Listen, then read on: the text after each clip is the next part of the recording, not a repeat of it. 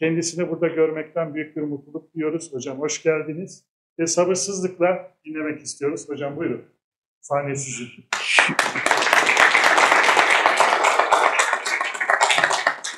Yıllar önce öğrenciyken rahmetli Kenan Erimi burada bir konferans vermişti. Hiç, hiç unutmuyorum. Aynı salonda. Yani çok yoğun duygular içerisindeyim. Onu söylemem gerek. Neredeyse ağlayacağım kadar yoğun duygular içindeyim. Çünkü burası benim evim. Tam 63 yıl olmuş. 63 yıl ve arkadaşlarım var burada. O evin o zamanki sahipleri olan.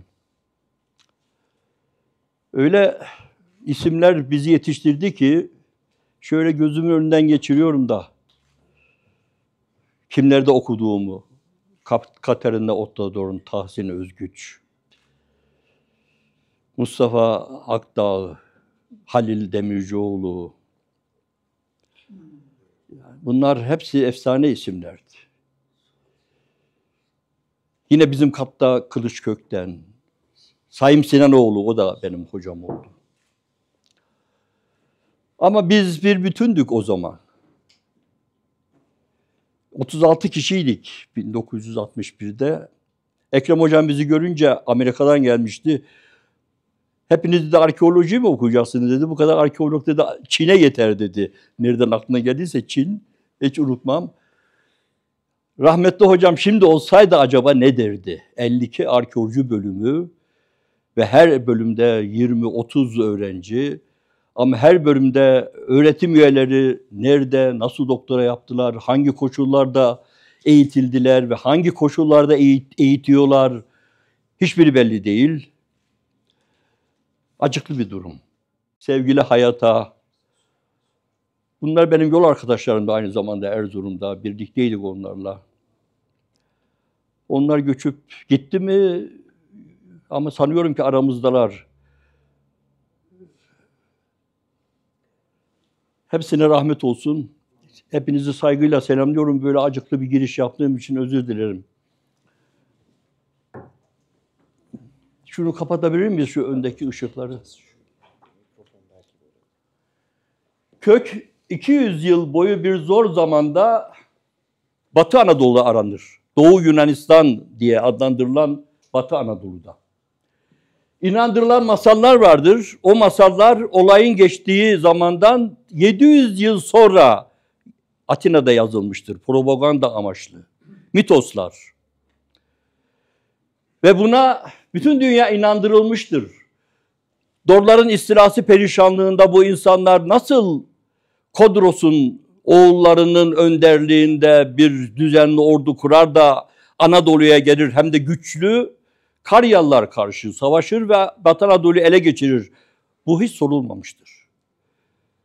Tabi bugünkü Batı uygarlığının yaratıcılığına hazır olan Yunanlar bunu öylesine kabullenmişlerdir ki görüyorsunuz bu bin yılın başlarında bundan 15-20 yıl kadar önce Atina'da ve gemilerde asılan propaganda reklam panoları. Pamfilyalılar, Likyalılar, Pisidyalılar onlar da Helen halklarındandır diyor. Çünkü olmayan bir Troya Savaşı'ndan sonra Ege'ye, oradan Akdeniz'e ta Kilikya'ya kadar giden bir Mopsos var. Kentler kura kura. Anadolu'nun daha önce var olan kentlerini kura kura. O da sorgulanmamıştır. Ama dünya öyle bir dünya ki bundan 200 yıl önce henüz arkeoloji yokken, henüz bilim sağlam temellere oturmamışken her şey Yunan yanlı antik kaynaklara dayandırılırken ve Almanlar böylesine bir Anadolu Yunan tarihi yazarken tabii ki dünya şöylesine bir buluntunun ortaya çıkmasını hoş karşılamayabilirdi. 2005 yılında Mısır'da yapılan kazılar da ortaya çıktı. Orada üç halk var. Luvia, Büyüküve ve Madunasa. Üçü de Anadolu halkları. Kimse yaslayamıyor. Çünkü her blokta aynı coğrafyanın halkları var. Susuluyor. Daha ne kadar susulacak, nereye kadar susulacak göreceğiz. Aslında Soran var, soran var da Troya'ya göre soran var. O Aka Helenlerinin Anadolu'ya gelip de Anadolu'yu ele geçirişleri soran yok.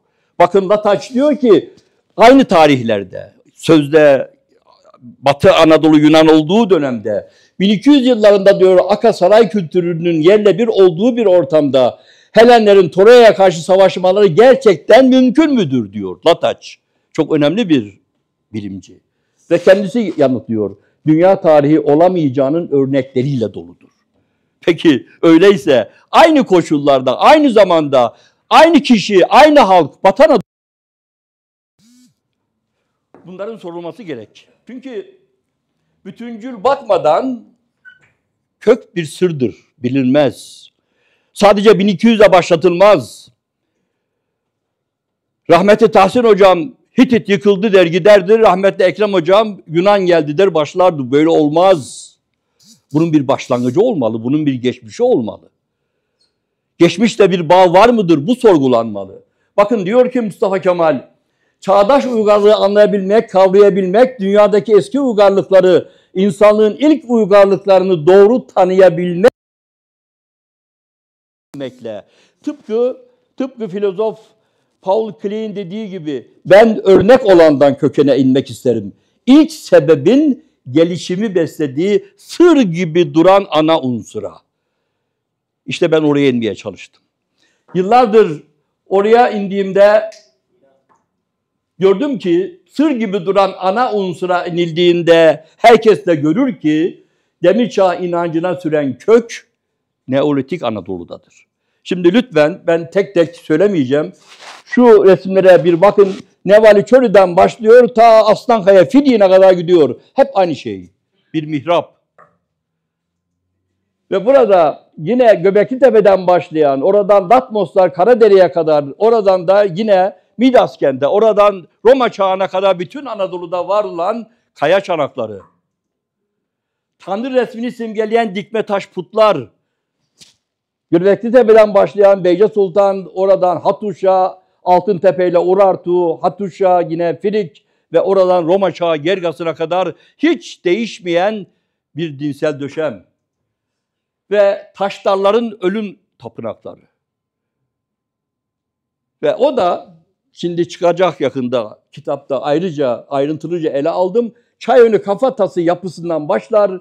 Yazılı Kaya oradan Anadolu'nun içlerine Likya'dan tapınaklaşarak ta Roma çağına kadar Kilikya'da Mezgit Kale'ye kadar hiç değişmeyen bir düşüncenin ürünleri olarak karşımıza çıkar.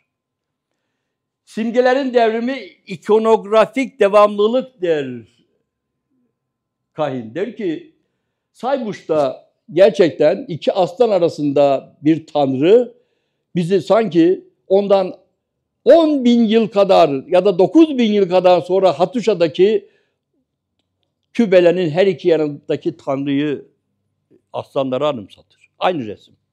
Ve ortada onun bir arası var. Hurri mührü.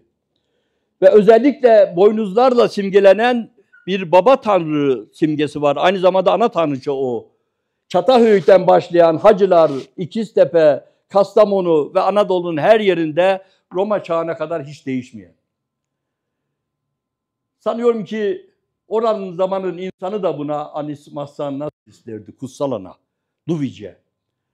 Soyut olanında var bu devamlılık, bu süreklilik, bu ikonografik devamlılık. Bakın Göbekli Tepe'den başlayıp Demir Çağ işlerine kadar giden, duayı kabul eden, kabul buyuran Tanrıça da var.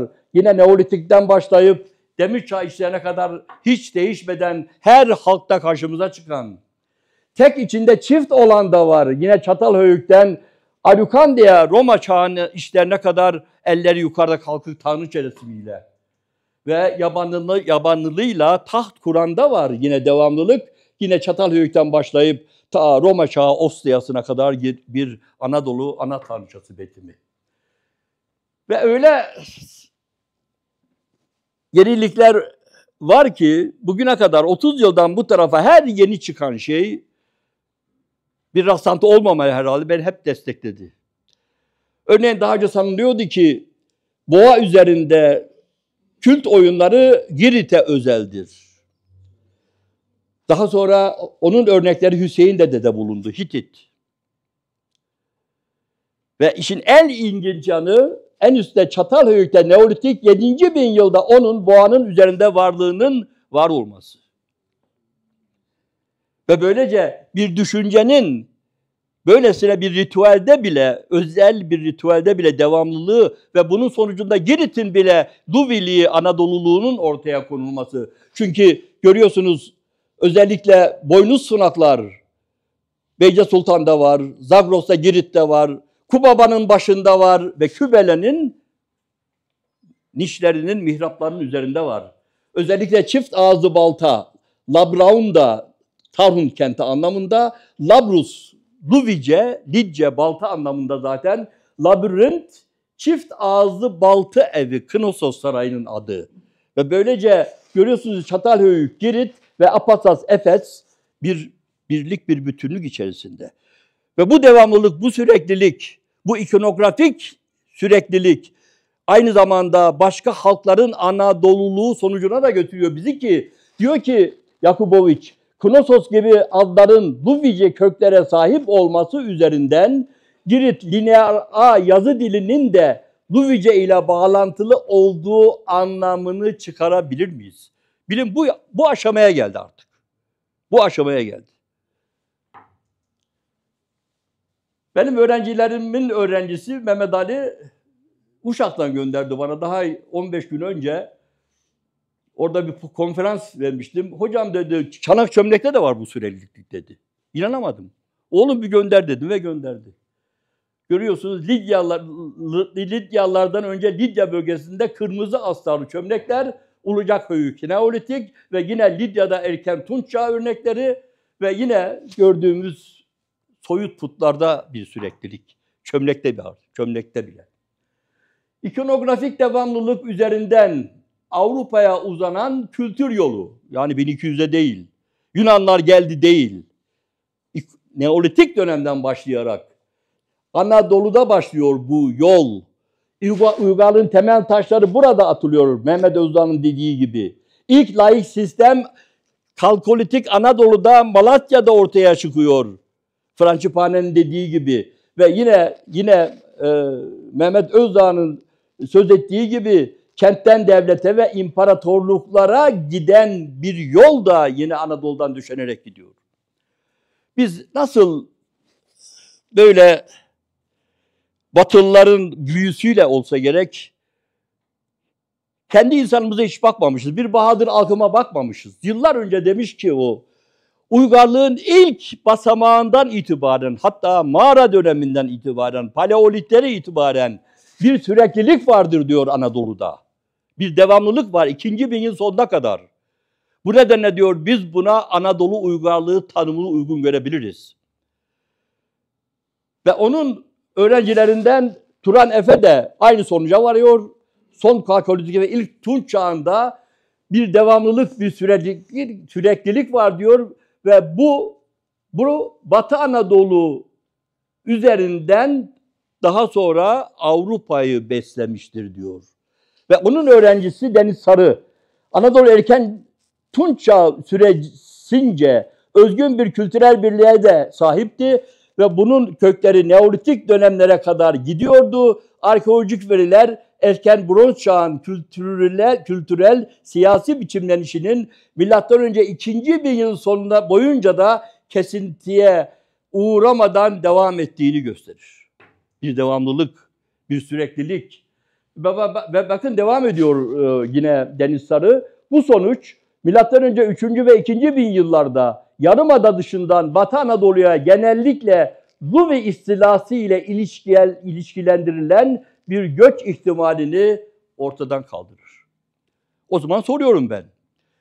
Eğer kültürde bir selam süreklilik varsa, sanatta bir süreklilik varsa, inançta bir süreklilik varsa ve ikinci bin yılda yazıyla birlikte o halkların Luvi, Hitit olduğunu biz biliyorsak, acaba bu Luviler ve Hititler Anadolu yerlisi halklar olmuyor? Çünkü Luviler konusunda bugüne kadar çözülmeyen hatta Hititler konusunda da öyle ama özellikle Luviler üzerine çözülmeyen sorunlar var. Nereden geldiler? Ne zaman geldiler ve ilk nereye geldiler? Hala sorun bu. Hala bir sorun. Bu sorunu çözmenin tek bir yanıtı var. Onlar Anadoluluydu. Onlar bir yerden gelmedi. Bakın göz kamaştıran bir haddi uygarlığı var. Yine onun devamı olsa gerek. Çünkü ben onu yine bu yeni kitabımda yazdım uzun uzadıya.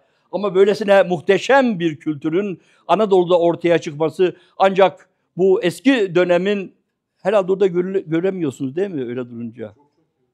Bir de bu taraftan deneyeyim o zaman. Herhalde herhalde eski eski dönemin o parlaklığından olsa gerek. Çünkü onu izleyen bir Hitit var. Kendisine Hatti'nin çocukları diyen, Hitit demeyen, Neşalı demeyen, ben Hitit Hatti kralıyım diyen ve kralların adını da Hattice koyabilen, ritüellerini Hattice yapabilen, işte bu devamlılığın sonucu olmalı. Ve Neşallar ve Luviler Doğu'nun Hatti dediği ortak uygarlık yeryüzünün ilk çağdaş devleti Hitit. Neden? Çünkü hocamın deyişiyle insan haklarına, kadına ve köleye saygılı, farklı soydan halklara eşit, Pankus ile meşrutu krallığın ilk defa ortaya çıktığı bir Hitit'ten söz ediyorum ben. Bir Hitit'ten. Ve görüyoruz ki bunların kendi yaratısı bir yazıları da var. Luvice. Bir Luvi hieroglifi Mısır'dan almamış. Hemen 3. bin yılda geldi. 2. bin yılın başlarında Luvice yazıyı ortaya koydu. Hayır.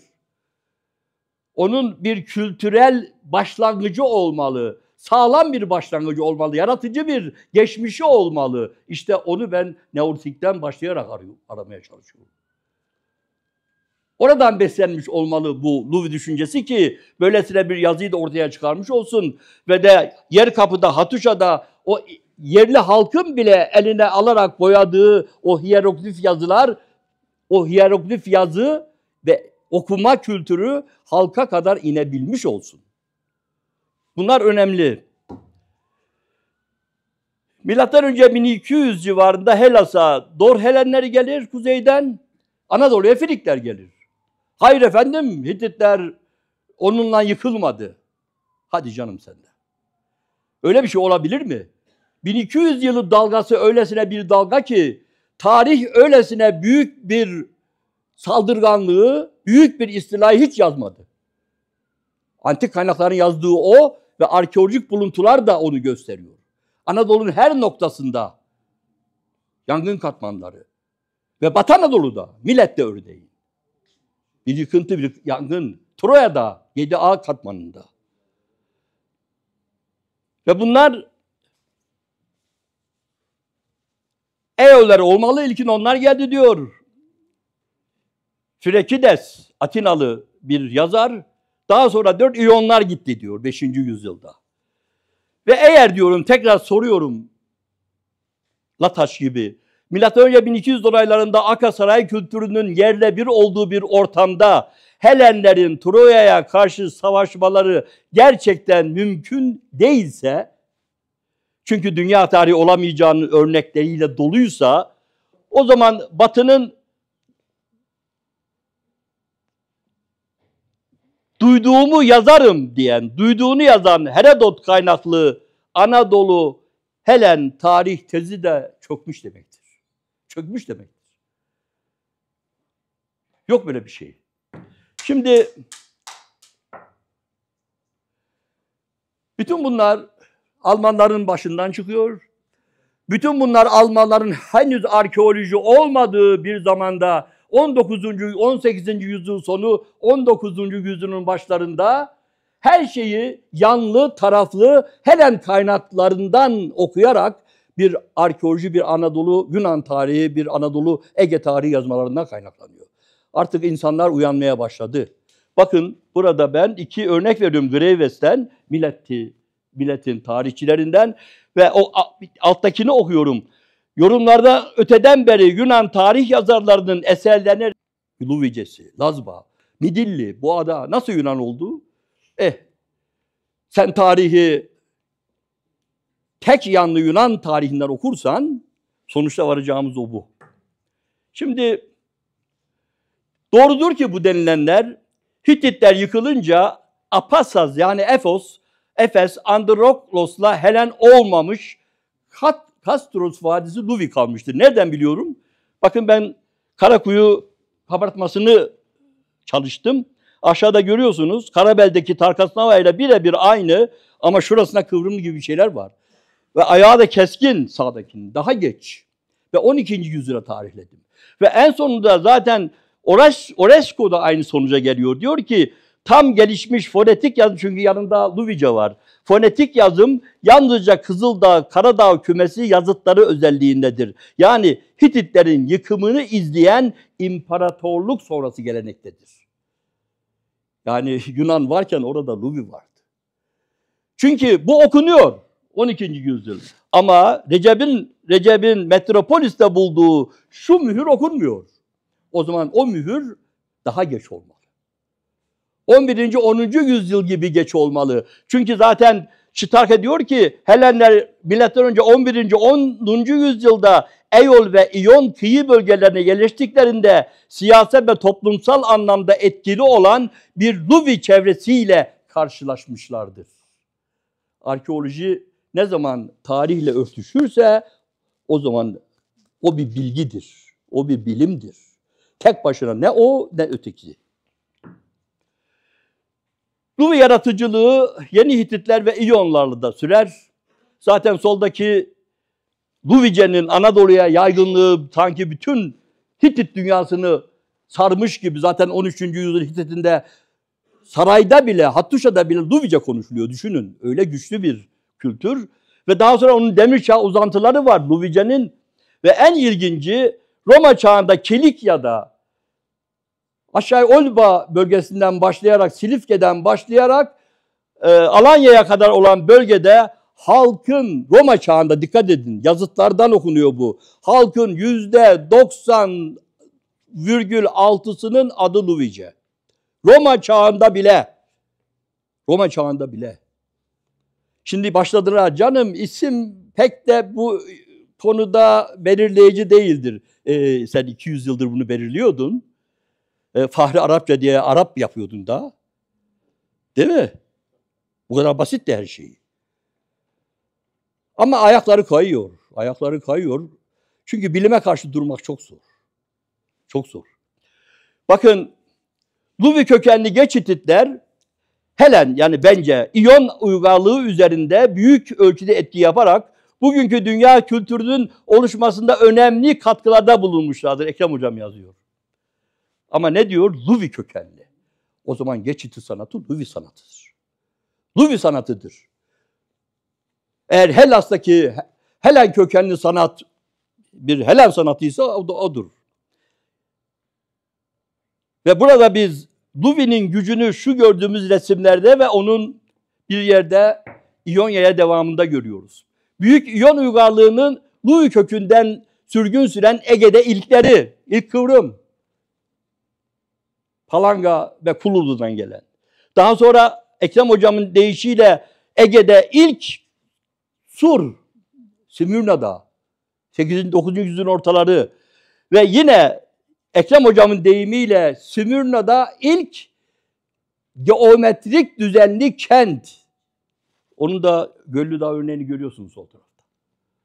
Şimdi bütün bunlar, bütün bunlar, bütün bunlar Büyük Filik uygarlığının da Anadolulaşmasında Luvi etkisini öne çıkarıyor. Çünkü diyor ki Bitke 9. yüzyıla gelindiğinde Kızılırmak yayı içerisinde Luvi kökenli yerli halk bölgedeki hakim konumunu sürdürmektedir. Bakın yine Luviler.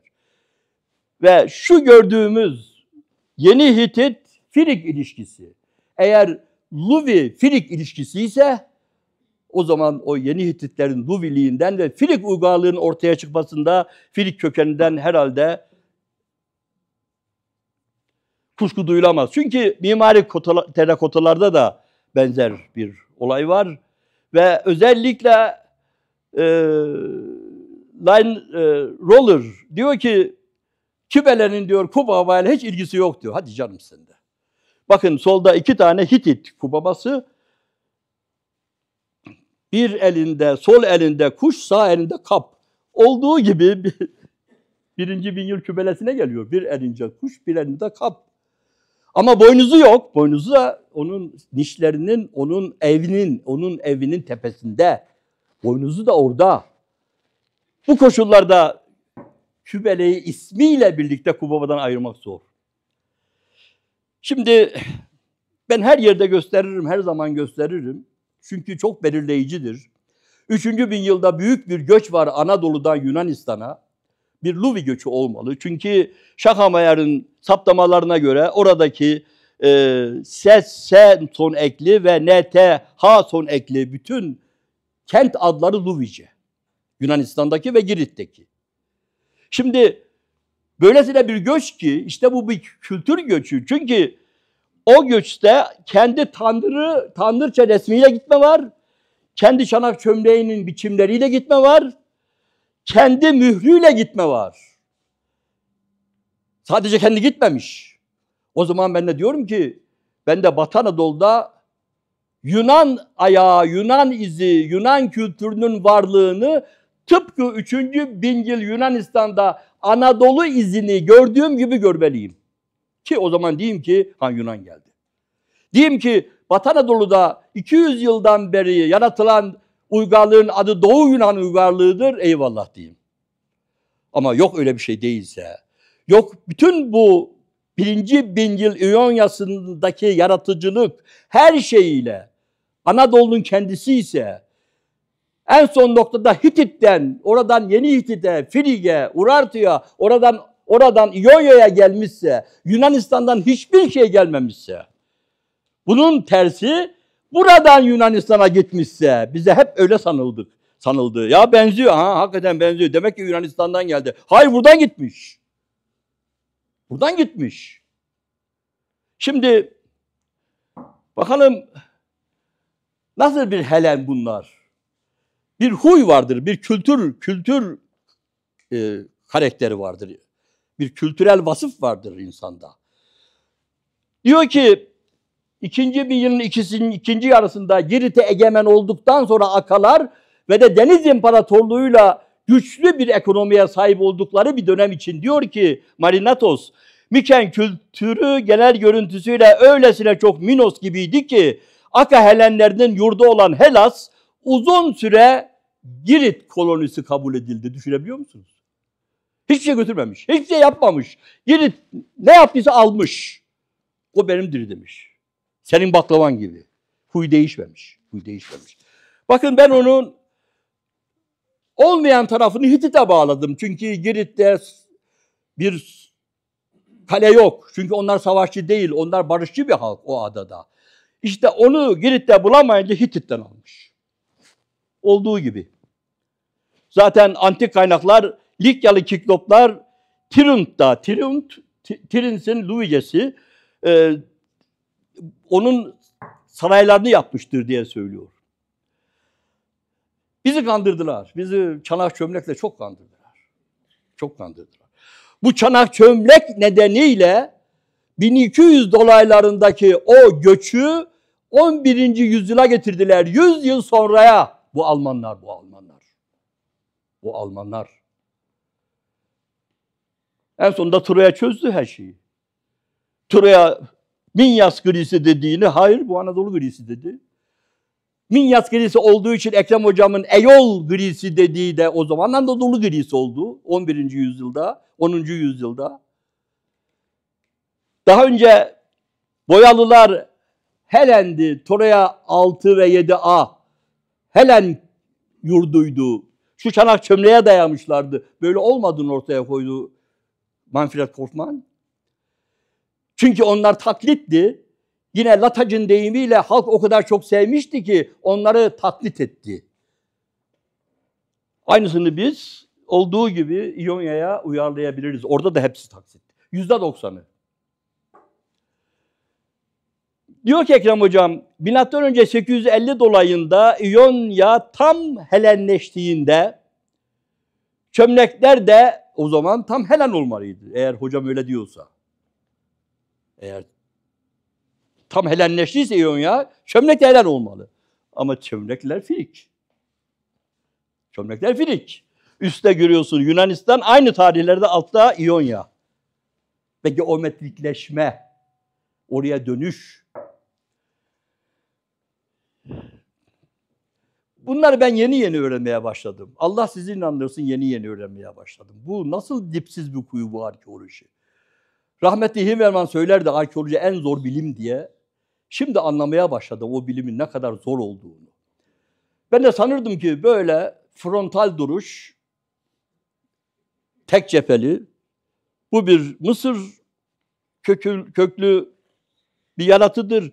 Oradan İonya'ya ve Yunanistan'a geçmiştir.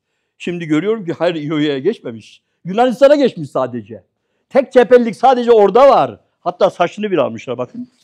Nasıl orada 2350 ile 600 arası 2000 yıl hiç değişmediyse o tek duru, tek tek e, cepheli duruş aynı şeyi biz Helen'de de görüyoruz. Ve Ekrem hocamın sıkça yinelediği gibi ideal ve yapay güzellik Helenlere neden özel? Çünkü o Mısır'a da özel. Onu da Mısır'dan almış. Buna karşın Anadolu'ya, İonya'ya bir baktığımızda doğallık ve hareketlilik. İlk nerede okursanız okuyun su kapı tanrısını Hattuşa'daki herkes en iyisiyle de Muhibe Darga hocam yazar. Üç sayfa.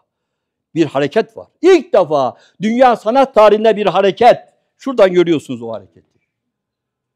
Ve o hareket daha sonraki dönemlerde millette ilk defa 500 yılı dolaylarında adına Yunan denilen bir klasiğin ortaya çıkmasının kökü oluyor. Esası, esasını oluşturuyor. Ve oradan demişim Hatuşa'da köklenir, İonya'ya sürgün sürer, Atina'da sahiplenir. O kadar basit. Adı Atina klasiği olur. Şimdi bununla hep aynı duygu içindeyim ben. Gittikçe güçlenen bir duygu bu. Eğer 1200'de bu deniz halklarının, kuzey halklarının o kıyımına uğramasaydı Hitit, Allah sizi inandırsın bizim klasik dediğimiz o dünya sanat tarihinin en büyük devrimi en geç 11. yüzyılda Hititler tarafından Anadolu'da yaratılacaktı. Hitit ve Luviler tarafından. Ama o onu engelledi. Çünkü derinlikte de onlar var. Sadece böyle duruşta değil. O küme yapıtlarda, bakın Alacahöyük'te aslan nasıl başını çevirmiş ve aşağıda geyiğin o bütün gövdeden tek başına soluna dönüşü. Ve biz onların varlığının devamını İonya'da bakın aynı tarihte 740 civarında Samos'ta görüyorsun. Ama Yunanistan'da Olimpiyada böyle tren gibi dimdik, hareketsiz, o durağan bir yapı var. Orada önemli olan onların güzelliği, başka bir şey değil. Zaten Gurgum'da, Yeni Hitit'te ki oradaki o dönüşü, o hareketi Kristiyana Özgan e, anlayamamıştı. Yani Anadolu'yu bilmedikleri için onları ben hiçbir zaman e, küçümsemiyorum. Anadolu'yu bilmemekten geliyor bu. Köke inmemekten geliyor bu. Bütüncül bakmamaktan geliyor bu. Böylesine bir hareket diyor 500'den önce olamaz diyor. Hristiyan Özgan. Ve bu nedenle yukarıdaki yeni Hitit kabartmasını 5. Beş, yüzyılın başına tarihliyor. Hayır. Bu vardı. Çünkü bunun bir Hitit kökü vardı. Çünkü doğallığıyla şekillenen Helen yaratılarına 9 bin yıl varken Anadolu'da anatominin üç boyutun farkına varan, farkında olan sanatçılar vardı. Nevali Çori, Atika'da Sunyon kurası, o iç yapının dışa yansıması ve sağ tarafta Köşköyük'te rahmet okuyalım arkadaşımıza bu nedenle de yine o güzel insana. O kült kablarında görüyorsunuz hareketi. Özellikle dans eden kadının o saçının arkaya doğru hareketi. Bir hareketin varlığında o öyle bir şey oluşunda. Özellikle Karahantepe'de çıkan şu yaşlı ta 500 yılı dolaylarında çıkıyor o yaşlılığın belirtisi Yunanistan'da. Şimdi Havva geçen Ankara'ya gelişinde telefon etti bana heyecan içinde. Ben dedi Urfa adamının da dedi hareketli olduğunu gördüm dedi. Gözümden kaçmış. Hakikaten bakın sağı soluyla aynı değil. Ne omuzu aynı, ne yüzü aynı, ne kulağının görünüşü aynı, ne eli aynı. Sanki gerçekten her şey o tarihin sıfır noktası diyorsunuz ya. Orada bir, bir, bir, bir algılanmış. Eğer demiş ben böyle yapıyorsam bir değişiklik olmalı benim gövdemde. Böyle olamaz. Ama ama bundan 6000 yıl sonra Mısır böyle yapmış. Güzel olsun da nasıl olursa olsun. İdeal güzellik. İyon Hitittir, Luvi'dir. Artık bu benim sloganım oldu. İyon Luvi'dir, Hitittir.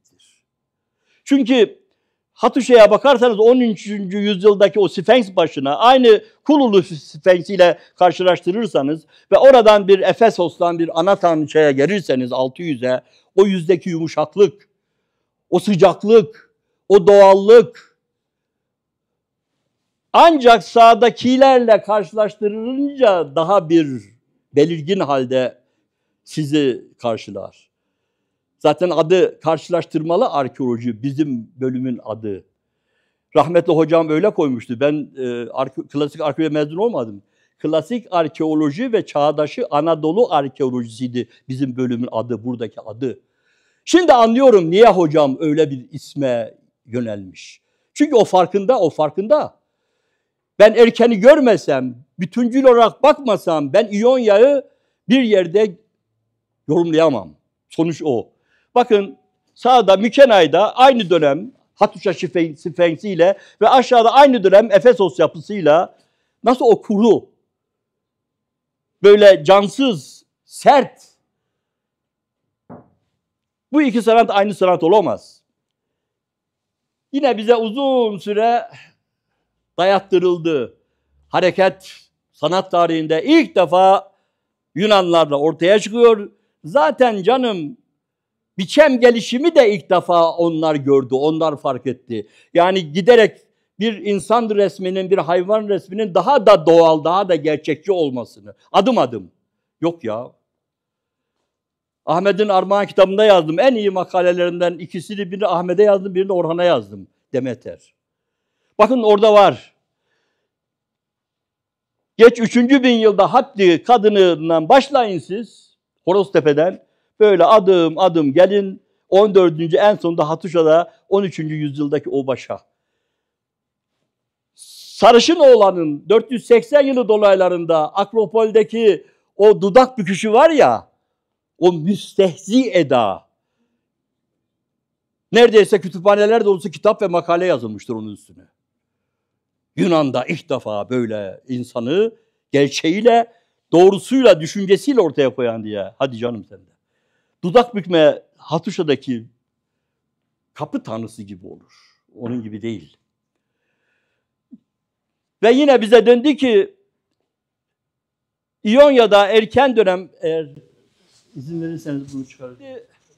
Görüyorsunuz İonya'daki o gerçekçilik ve doğallık Alişar'dan 12. bin yılın sonu ve Samos'ta ikinci bin yılın başı ve solda Apasas'ta Apasas'ta şu alındaki çukurluğa dikkat edin lütfen şu çukurluğa ve sağda Samos'ta yine ve özellikle Troya'da bir Hitit tanrıçası olduğu gibi Samos'taki o tanrıçanın resmiyle aynı.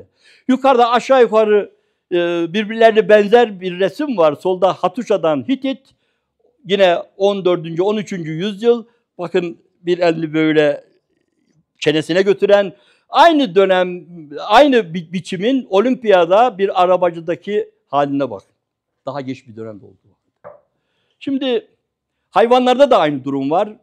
Mesela ilk iki gördükleriniz e, Girit, Aka, daha sonraki Dor, Olimpiya ve daha sonra sağda izlediklerimiz o doğal görünenler e, Hitit ve daha sonraki İyon yapıtları. Özellikle aşağıda o daha iyi algılanıyor. Ortadaki Olimpiya, o Dor erken demir çağı bir bir kirpiye benziyor sanki ama o bir at. Ama onun at olduğunu sağda Samos'ta e, bir e, geç Tunç Hitit atına bakarken onun doğalıyla görebiliyorsunuz. Şimdi denebilir ki senin bu dediklerin etki olabilir. Hitit, yeni Hitit'e etki etmiştir. Yeni Hitit de Eonya'ya etki etmiştir. O ve o iyonlar Yunan'dır. Yani o etkiyi alan Yunan'dır. Nasıl iyon etkisini o Hellas'a almıştır birinci bin yılda olduğu gibi bu da aynı şey olabilir. İşte o noktada arkeolojinin özü devreye giriyor. Çünkü bir insanın kimliği düşünce ve duygusuyla ortadadır. Ne ismiyle, ne onun adıyla, ne onun herhangi bir başka nedeniyle. Sadece ve sadece düşüncesiyle ve de duygusuyla. Bu nedenle diyor ki Herbert Kuhn, sanat tüm zamanlarda yalnızca düşüncenin ve duyguların ifadesidir. Şimdi ne Mısır'da ve ne de Hellas'ta olmayan bir şey var Anadolu'da.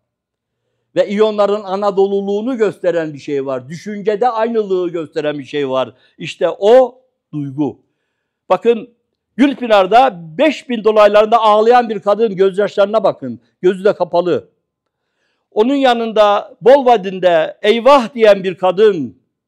Onun altında Tel Halaf'ta 9. yüzyılda bir mezar kabartmasında hüzünlü bir kadın ve oradan İyon döneminin o refahını dışa yansıdan bir İyonyalı genç kız, bir duygu. Ama aynı zamanda bakıyorsunuz Yunanistan'da hem de Atina okulundan çıkan Egine Afaya Tapınağı'nın alınlığında Troya Savaşı betimlendiğinde yaralanan bir Helen askeri mızrağını kavramış, tutmuş acı içerisinde ama gülüyor. Ama gülüyor. Çünkü düşünce farklı. Düşünce farklı. Çünkü düşünceye inmemiş. İonya'dan aldıkları. O yüzeyde kalmış. Onun aldıkları o düşünce babında Mısır. Doğal ve gerçekçi olmayan, yapay olan. Bu nedenle de portre ilk defa Anadolu'da doğar. Bakın ortada Likyalı Perikler'in kralının iki ayrı resmi var. Biri birinden farklı. Karyalı Mavzolus'un şu acı çeken hali var. Ve diyor ki hocam Atikalı yontu ustaları ideal güzellikte eserler işlerken doğal güzelliğe önem verdi iyonlar. Böylece yapay bir sanat değil, doğal heykelcik doğdu. Yani bugünün heykelciği, yani çağdaş heykelcik. Bütün bunları söylüyor, yazıyor, Fahri öğrencisine yol gösteriyor. Fakat hocam ne hikmetse İyon'a Yunan diyor. Hocamdan ayrıldığım tek nokta o. Bunu iyi bilesiniz. Yolumu çizen o. Beni yönlendiren o. Deminden beri hep ondan söz ediyorum farkındaysanız. Ama o, o, o saplantı var ya 200 yıl insanın beynini yiyen, o batının insanı kandırdığı, inandırdığı o, o dogma, o bir türlü parçalanamayan ön yargılar işte hocamı da o bir yerde bir yerde böyle almış. Ama o çok şeyi gördü. Bakın bir, şey, bir şeyin nedeni o şeyin temeli ise eğer diyor ki Direyrup Yunan tapınağı kutsal odasının varoluş nedeni Megaron'dur. Helen dünyasının doğusundan sürer sürgünü. Eğer o sürgün sürdüğü yer Troya ise onun kökünü başka yerde aramak mümkün değil. Bakın sol tarafta İyon ve sağ tarafta Dor yapısı var. Biri Mısır, öteki Hitit. Neden? Oradaki Filiz zaten bir yeni Hitit anlayışı. Oradaki sütun başlığı bir yeni Hitit anlayışı. Ve oradaki sütun altlığı bir yeni Hitit anlayışı. Onu ayrı bir kategoride yapma ve ortaya çıkarma. Ve Yunan tapınağı Troya'dır. En sonunda Troya 7A 6'da hemen Ante House diyorlar orada. Onlar Samos'a geliyor ince uzun bir megaron ortada tek sıra sütun. Oradan Samos'ta 8. yüzyılda etrafına bir sıra sütun alıyor. İlk defa dünya sanat tarihinde etrafı sütunlu Piteron bir tapınak ortaya çıkıyor. Anadolu'da bakın sürek, sürekliliğe devam edin. Dikkat edin. Çünkü benim konuşmalarımın özünde o var. Devamlılık, süreklilik. Ve orada aşağıya iniyoruz. Yunanistan'a bir bakalım. 8. yüzyılda Perahora'daki Hera Tapınağı'nın arkası yuvarlak. Eretra'daki Hekatompedos'un ilk evresinin arkası yuvarlak ama 7. yüzyılın ortalarında birdenbire etrafı ince uzun bir megaron oluyor. Tıpkı Samos'taki gibi ve etrafına bir sıra sütun alıyor. Aynı şeyi Termos Apollon'da da görebilirsiniz. Ve bu tapınağın adı Yunan tapınağı he. Emeğe yazık. Emeğe günah. Ve bu arada bir alınlığın ortaya çıkması var. Onu da hemen sağ taraftaki üçgen alıntıda görüyorsunuz. Ömer dedi ki bana Özyiğit ya dedi ben sana karşıydım başlangıçta dedi. Fakat içine girince dedi doğruluğu anladım dedi. Fokaya dört kitabında tapınak yapılarıyla beni onayladı. Şimdi Filik mimari terakotaları üzerine bir şey yazıyor. Dediğine göre o konuda da haklısın dedi. Şimdi burada benim demek istediğim sadece şu. Kızım burada. Onun zamanında yeni yeni başlamıştı. Acaba, acaba bu Firik hakikaten Anadolu mu, Yunan değil mi görüşüm. 1980'e kadar ben de Doğu Yunancıydım ya. Ben de Doğu Yunancıydım. Derslerimi öyle anlatırdım, kitaplarımı, makaleleri öyle yazardım ve doktoramın kapağında var o, Ost-Ionian. Böyle olmadığını gördüm ve döndüm. Yani dönmemek bir bilim adamı için yani bir huy mudur yani? İyi bir huy mudur? Dönmemesi mümkün müdür? Özellikle bir sosyal bilimcilerin yeni veriler varken, yeni şeyler ortadayken. Ömer bunu anlatırken bunları düşündüm, kendimi düşündüm.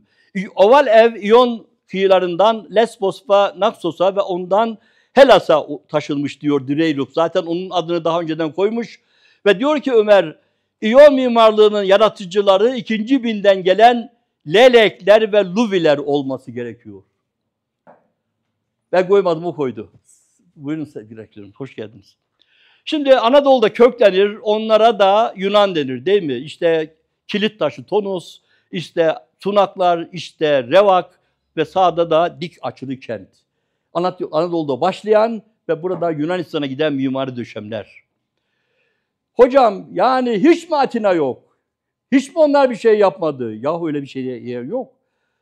Benim benim konum, benim derdim 500'e kadar, klasiğe kadar asıl bu klasik dönemin bugünkü çağdaş sanatın ve kültürün temelini oluşturana kadarki zaman. Ondan sonra millet 494'te Lade'de Perslere kaybederken Atina 480'de Salamis'te kazanınca artık alan ve veren terse dönüyor. Artık Atina daha önce İonya'dan aldığını geliştirerek İonya'ya tekrar veriyor. Mesela bu ama asıl önemli olan şu ortada yazdıklarım. Bakın daha önce arkaik dönemde millet nasıl Atina'yı etkilemiş. Ama kimse Atina'ya bu nedenle bu bunlar iyonlaştı dememiş. Bu etkidir o. Sadece etkidir. İyon, İonya'da ilk hareket, ilk kıvrım, ilk ifade yani sır gibi duran ana unsur. Kök o. Bütün bu resimlerde kök o. İlk hareket, ilk kıvrım, ilk ifade. Nerede bu? Hangi topraklarda ve hangi tarafından yaratıldı onu görmek lazım. Bakın düşünme o kadar önemli ki şurada diyor ki Kristine Özgan Partenon'daki şuradaki soyluların Pan şenliklerinde sohbet etmeleri işte bir 5. E, yüzyıl başında bir çanak var. O çanağın çömleğin üzerinde buna benzer bir şey var. Yine aynı şey. Yine Kristine bilmiyor yeni Hitit'i. Bilse yukarıda Azavata'da yani Karatepe'de o söyleşen insanları görecek. Bilse onun devamını Kısantos'ta görecek ve oradan buraya gelecek. Aradaki farkı da görecek. Nedir oradaki fark? Anadolu'da gerçekçi bir beyin bir gezisi, günlük bir gezisi, güncel bir olay. Ama Yunanistan'da Anadolu'dan bunu alıyor fakat kendi düşüncesine uyarlıyor. Pan Atanea şenlikleri tanrıların varlığı içinde önünde yap gerçekleşiyor. Tanrılar var orada yine. Yine öte dünya girmiş işin içine. Yine tam bir doğallık ve tam bir gerçekçilik yok. İşte düşünce bu nedenle önemli. Hiçbir zaman sen o var olan düşünceden kendini soyutlayamıyorsun. Evet. Yeni derdim de bu benim. Helensiz Helenistik dönem. Çünkü hep birbirini izliyor. Ve diyor ki Ekrem Hocam zaten buradan çıktım yola. Helenistik uygarlık yontusu ve mimarisiyle Anadolu'da diyor gelişip büyümüştür diyor. Allah Allah. O zaman niye bu Helenistik? Anadolu'da gelişti büyüdüyse. Çünkü çünkü Droysen kardeşimiz onu öyle emretmiş, öyle buyurmuş 19. yüzyılın sonunda. Ve bunun da farkına varan çok ünlü bir tarihçi var. Malcolm Errington. Türkçe'ye çevrilen kitabında Helenistik dünya tarihinde diyor ki Alman tarihçi Droysen kaynaklı Helenistik sıfatı yanlış anlamaya dayanır. Dönem için Makedonya yüzyılları çok daha uygun olurdu. Doğrusu odur. Çünkü krallar o 300 yıl boyu hep Makedon kökenli. Ptolemaios diyorsun Yunan aklına geliyor. Seleukoslar diyorsun Yunan aklına geliyor. Ama ama en en acısı Bergama krallığı diyorsun Yunan aklına geliyor. Yahu yapma. Yapma. Yunan kendisini yığma tepe gibi şu gördüğün bir tümürse gömdürür mü? Yunan onun içinde tanrılaşır mı? Ama bir Makedon yapıyor onu. İkinci Filip Vegina'daki mezarında. O da bir tümülüs. O da bir tapınak. Orada da bir, ta- bir tanrılaşma olgusu var. Ve yine Anadolu'yu Helenleştirme için o tuzaklardan biri de şu. Bize öğretilen hem burada hem Almanya'da. Efendim Bergama sunağında işlenen doğrudur. Devlerle tanrılar savaşıdır ama gerçekte bu değildir. Neymiş gerçek? Efendim o Galatlarla Bergamalıların savaşını simgeliyormuş. Yapma ya. O Yunan'a yakışır. Olmayan bir şeyi mitolojiyle gösterme. Başlangıçtan beri Yunan'ın işidir, Yunan'ın görüşüdür o. Ama Anadolu'da o de, öyle değildir. Lagina'da aynı konu işlenmiş. Ona sen Gigantomachy diyorsun. Tanrılarla devler savaşı. Ama Bergama'ya geldiğin zaman yok canım bu öyle değil. Bu Bergamalılarla Galatların savaşı. Yok böyle şey. Çünkü öyle bir şey olsa ben şurada Bergama Galat taşları karısını öldürdüğünde ona da başka bir şey derdin. Tam bir gerçekçilik bu. Kimlikte belirleyici olan düşüncedir arkadaşlar. Bunu bunu lütfen hep böyle bilelim. Çünkü diyor ki Melkert bugün daha kesin bir şekilde dil ve kültürün her zaman etnik kimlik veya milliyete tekabül etmediğini bilincindeyiz diyor. Melkert gibi bir önemli dil bilimci. Ve altta bu sefer Naomi Unwein dil kimliği nadiren değiştirir. Ama biz yazıyı görüyoruz. Yunanca, aa hocam, Yunan hocam, hocam bakın Yunan, yazı Yunan. Dili Yunan mı? Volvadin'deki filik yazıtları gösterdi bunun öyle olmadığını. Yunanca yazılıp da halkın kendi dilini konuştuğunu. Bakın Ekrem hocamın sözüdür. İskender'le başlayan ve Doğu Helen kaynaşmasından dış görünümü ile Helen ancak özüyle doğulu bir dünya görüş ortaya çıkmıştır. Ne diyor hocam? Düşüncesiyle doğulu diyor İskender. Hatta bir yerde yazar. İskender ben e, doğuyu Helenleştireyim derken kendisi doğulaştı diye. Ve bakın ben de diyorum ki İskender'i değiştiren doğunun dünya görüşü mü değişti de kitabın adı Der Hellenisierte Orient oldu. Yunanlaştıran doğu. Hayır hayır geriye al. Geriye geriye lütfen. Geriye çok önemli. Efendim öyle de öyledir de İskender işte tamam Makedon kökenli olabilir de ama Yunan kültürüyle kültürlenmiştir. Kültürü Yunan'dır. Bu nedenle Yunan'dır. Bizde bir Mustafa Kemal vardı. Aynı topraklarda doğan, yazmışım da 2237 yıl sonra. Tek bir amacı vardı Anadolu'yu batılılaştırma. Ama o Atatürk olarak öldü. Atatürk, Atatürk. Ne Fransızlaştı, ne Almanlaştı, ne İngilizleşti. Yani bunlar bunlar bunlar böyle sadece söylenen yüzeyli ses sözler. Peki düşünce ve kimlik yapan ustanın mı demişim yoksa yaptıranın düşüncesi mi önemli? Yapan usta mı? Bunları mesela Hekatomnos vahdini Atinalı ustalar yaptı. Bu bir Atina eseri mi? Yoksa o düşünceyi ona veren ve sen bunu bunu bunu böyle yapacaksın diyen Mazdolos'un düşüncesinin bir eseri mi? Tabii ki ikincisinin bir eseri. Yunan'da ne gezer böyle bir aslan avı? O Makedonya'da var işte Vercina'da Filip'in mezarının üzerinde. Yunan'da ne gezer bir portre sağda Mavzolos'ta olduğu gibi Atalos'ta var. Bergama kralı. Ve ikisi de tanrılaşmış, üçü de tanrılaşmış. Var mı Yunan'da tanrılaşma? Helen düşüncesinde olmayan Anadolulu önderler mezarlarında tanrılar ve insanlarla bir yaşardı. Bakın Diokazerea'da kule tapınak arkada bir cami var. Ee, hemen e, bugün Zeus tapınağının yanı başında onu görüyor. Ve özellikle ortada Labranda'daki çok önemli o kutsal alanın, Tarhu kutsal alanının üstünde bir tapınak mezar. Tanrı'yla birlikte yaşıyor. Ya da görüyorsunuz Sagalassos'ta Agora'da hemen yanında Dor tapınağı var.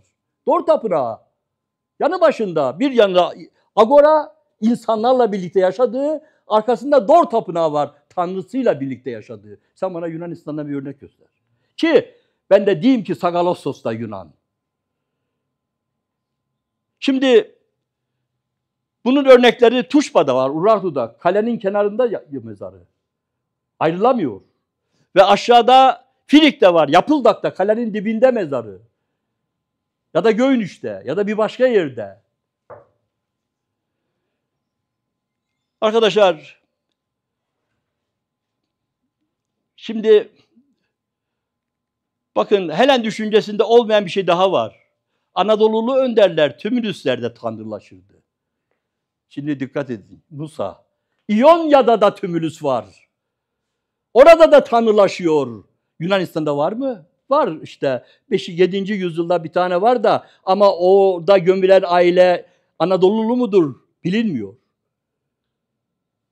Yazıt yok. Ama yine Yunanistan'a uymayan, Anadolu'ya uyan bir başka şeyde yazıtta görüyorsun ki o aile bir İonya'dan gitmiş oraya. Ama oraya oraya oraya oraya oraya, oraya özel değil. Makedonya'daki gibi İsa'dan önce 4. bin yıldan başlayıp Roma dönemine giden giden bir gelenek yok Yunanistan'da bir tümülüs geleneği ya da Anadolu'da olduğu gibi. Şimdi Magnezya'da Temistokles tümülüsü. Onun ya da onun değil, önemli değil. İki kazıcısı da burada. Ama kentin ortasında tapınağa giderken ne işi var kentin ortasında bir, bir tümülüsün? Perikles öyle mi gömüldü? Şimdi sağ tarafta Belevi, ben onun Pindaros olduğu kanısındayım. Öyle çoban, moban oradaki şeyi bulan değil. Çünkü tarihi de uyuyor ve onun Lidya'ya karşı ya da kayınbabasına karşı verdiği savaş da uyuyor aynı zamana. Ama diyorlar ki ondan sonra kaçtı oradan. Teos'taki tümülüsler bu değil daha çok var. Onu geçkin. Ve de hocamın Tantalos tümülüsü Smyrna'da. Ve bütün bunlar özellikle Belevi'de gösteriliyor ki üzerinde, içinde kutsal ayinler yapılan, tıpkı Tanrı'ya tapılır gibi tapınan yerler. Ve onlar tanrılaşıyor. Tıpkı Komegene'de olduğu gibi. İkinci Mitridates tümülüsü ve arkada Nemrut Dağı'da babasının tümülüsü. Alınlık kapıları Orhan'ın bu son şeyde yazdığı e, bir makalede de çok faydalandım ondan. Bakın bu kapılar olsa olsa tanrılaşan taçların yani kralın ya da beyin kendini gösterme kapısı olabilir. Frikya'da var, Milyas'ta var, Likya'da var, Lidya'da var, Tayhuza ile İonya'da var. Bakın neden? İşte bu nedenle. Tanrı'nın kendini gösterme kapısı çünkü o. Efesos'ta da öyle, Magnezya'da da öyle. Yine Orhan'ın şu resmi çok içime yaradı benim. Amsterdam'dan Apollo'nun açık olan kapılı bir tapınağın içinde kendini nasıl gösterdiği ve onun Midas kentteki kübele e, kapılarıyla üstte alınlıktakilerle bağlantısı var ve Aslankaya'da zaten onun somut hali var. kapı açılmış ve arkasında Tanrıça kendini gösteriyor. Var mı bu Yunanistan'da? Ha? Şimdi Olimpos'a göçen Anadolu tanrıçaları çok gariptir değil mi? Bu? O ne demek Olimpos'a göçen? Bu da bunlar da mı Anadolu? Bunlar da Anadolu. Ben demiyorum. 1937 yılında bunu söyleyen söylemiş. Türk Tarih Kongresi'nde. Clemens Bosch. Bütün Yunan tanrıçaları, Olimpos tanrıçaları Anadolu ana tanrıçasından doğmadır. Biraz sonra göreceğiz.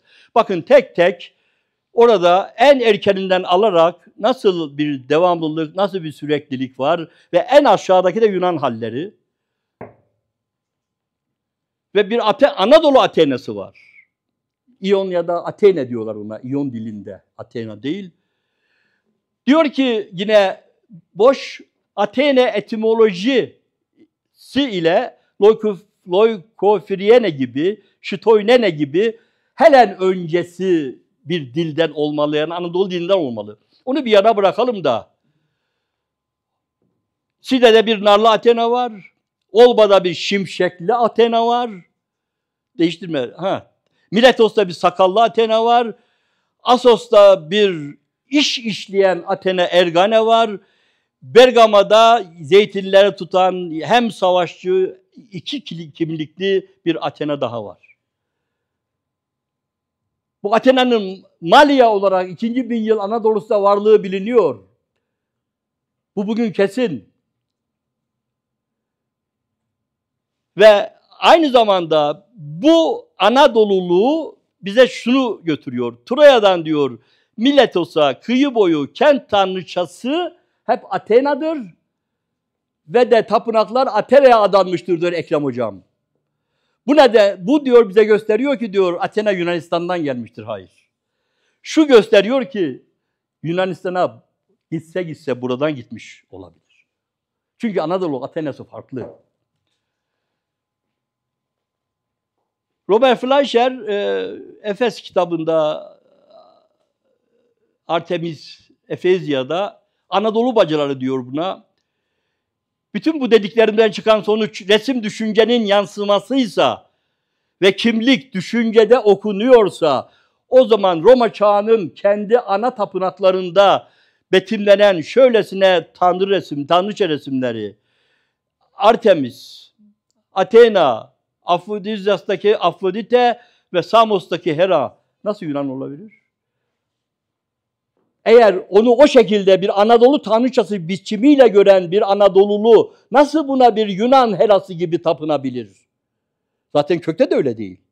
Efendim gittiler gördüler İmbros ırmağı kenarında bir hayıt ağacı kökü, Lugos ağacı dediler aa bu bizim Hera'mız. Hemen Hera'ya tapındırır. Hayır. O Anadolu ana tanrıçanın kendisi. Sen adını değiştirdin onu. Baki ve Bakos Yunanca ve zaten diyor e, Marek, Bakos adı eski Lidce'dir, şarap tanrısıdır, Helen Dionysos ile özdeştir. Zaten Öripides'in kendisi söylüyor bakalarında, ben diyor oradanım diyor Dionysos. Lidyalıyım ben diyor. Ve üzüm bağının Tarhunzası oluyor İvriz'deki ve Niğde'deki şu tanrı. Üzüm bağının Tarhunzası. Ve de Erika Simon'a göre bir kültürün taşınmasıdır o. Bir şarap kültürünün. Dionysos'la birlikte ayağında yine köklenen asmayla bir arada. Anadolu'dan Yunanistan'a. Şimdi bence diyor zaten diyor Yunanlar bu tanrının adını öbür tanrıların adlarından sonra öğrenmişlerdir diyor Herodot. Yani onlara yabancıdır diyor. Ama asıl önemlisi Nietzsche'nin şu sözü yaratıcılık Apollon ile Dionysos'un simgelediği iki karşıt varlığın birleşmesinden doğmuştur. Helen toplumunu kültür sahibi yapanlardır onlar. Dionysos ve Apollon. Bunun için bu iki tanrı batıda çok önemsenir ve istenir ki onlar Yunan olsun. Ama özellikle Manfred Korfman'ın o son çalışması 1998'de bana Apollon'un Apollon'un Apollonas'la olan birliğine götürdü ve en son geçen yıl Lair Benos'a gittiğimde Denizli'deki şu alınlığın sırrını da çözdüm. Çünkü elinde çift ağzı balta tutan bir Apollon olamaz dedim kendi kendime. Birden aklıma kapı tanrısı geldi. Hatuşa'daki en solda elinde yine balta tutan ve çıplak ayaklı oluşuyla, gençliğiyle, resmiyle diğer bütün Hitit tanrılarından farklı olan bir savaş tanrısı. O zaman arkeolog, arkeoloğun görevi arayı doldurmak. Arayı doldurmak. Bir başta savaş tanrısı, bir Roma çöleminde savaş tanrısı olmaz. Arayı da doldurdum. Gözümün önünde duruyormuş. Erikasimon diyor ki Apollon Amiklayos kült heykeli miğferli başı ve silahlanmış elleriyle Dor tasavvuruna uyan bir savaş tanrısıydı. Dikkat edin. Ve ve orada e, hemen Delfi'deki Efes yapımı Apollon aklıma geldi. Aslanıyla anasının simgesini tutarken elinde bir bir mızrağı var. O da savaş tanrısı. Ve bu ikisi Ege'nin her iki yakasında en erken erken demir çağı Apollon heykelleri. Demek ki Apollon arkaik döneme kadar bir savaş tanrısıymış. Ve Anadolu'daki o süreklilik onu Lailbenos'ta gördüğümüz milattan sonra 2. yüzyıl heykeline götürmüş. Öyle diyor Manfred.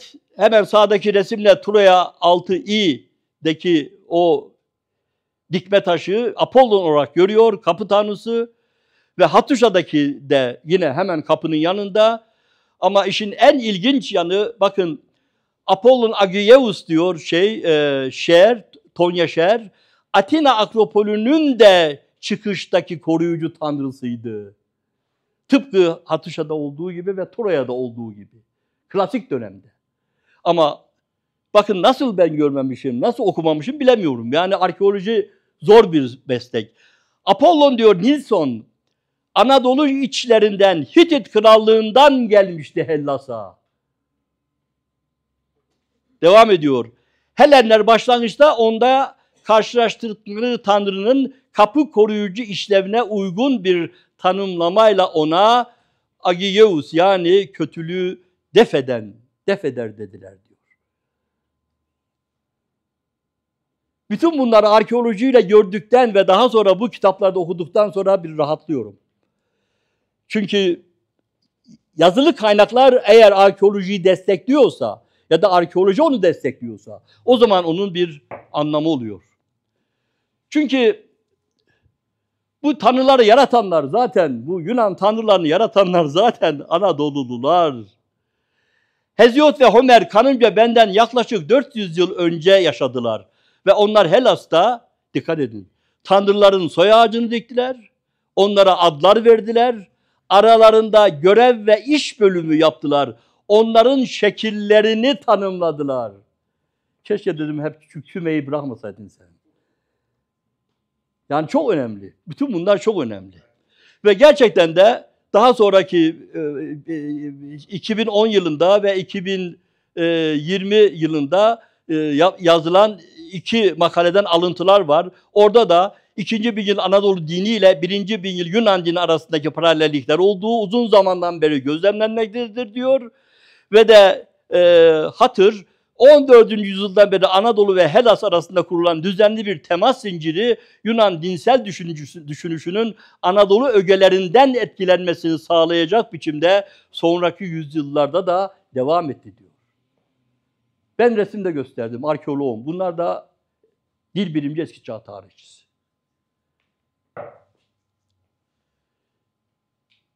Ve Marburg'daki zamanımda Lichtenberg makalesini verdi bana. Dedi ki doğrusun dedi. Ben de dedi araştırdım aynı sonuca vardım. Ve gördüm ki dedi tanrıların Helen biçimlerine dönüşmesi özellikle milattan önce 6. ve 5. yüzyıllarda Atina'nın doğrudan ya da dolaylı etkisiyle olmuştur. Yani daha önce bunlar Anadolu'luydu, doğuluydu. Atinalılar daha sonra şeklini değiştirdi. Şimdi ben bir Malatyalı olarak şapkam burada. Bir de şalvarım olaydı. Değil mi? O zaman Anadolu'luydum. E şimdi ben Anadolu olmadım mı? Ha? Ben buralı değil, ben Malatyalı değil miyim şimdi? Böyle giyindim diye. Şekil midir belirleyici olan? Yoksa bu mudur? Düşünce midir? Bakın ben diyor örnek olandan kökene inmek isterim. Başlangıçta da söyledim bunu. İlk sebebin gelişimi beslediği sır gibi duran ana unsura. Bunların ana unsuru Anadolu'da. Kök orada. Kök orada.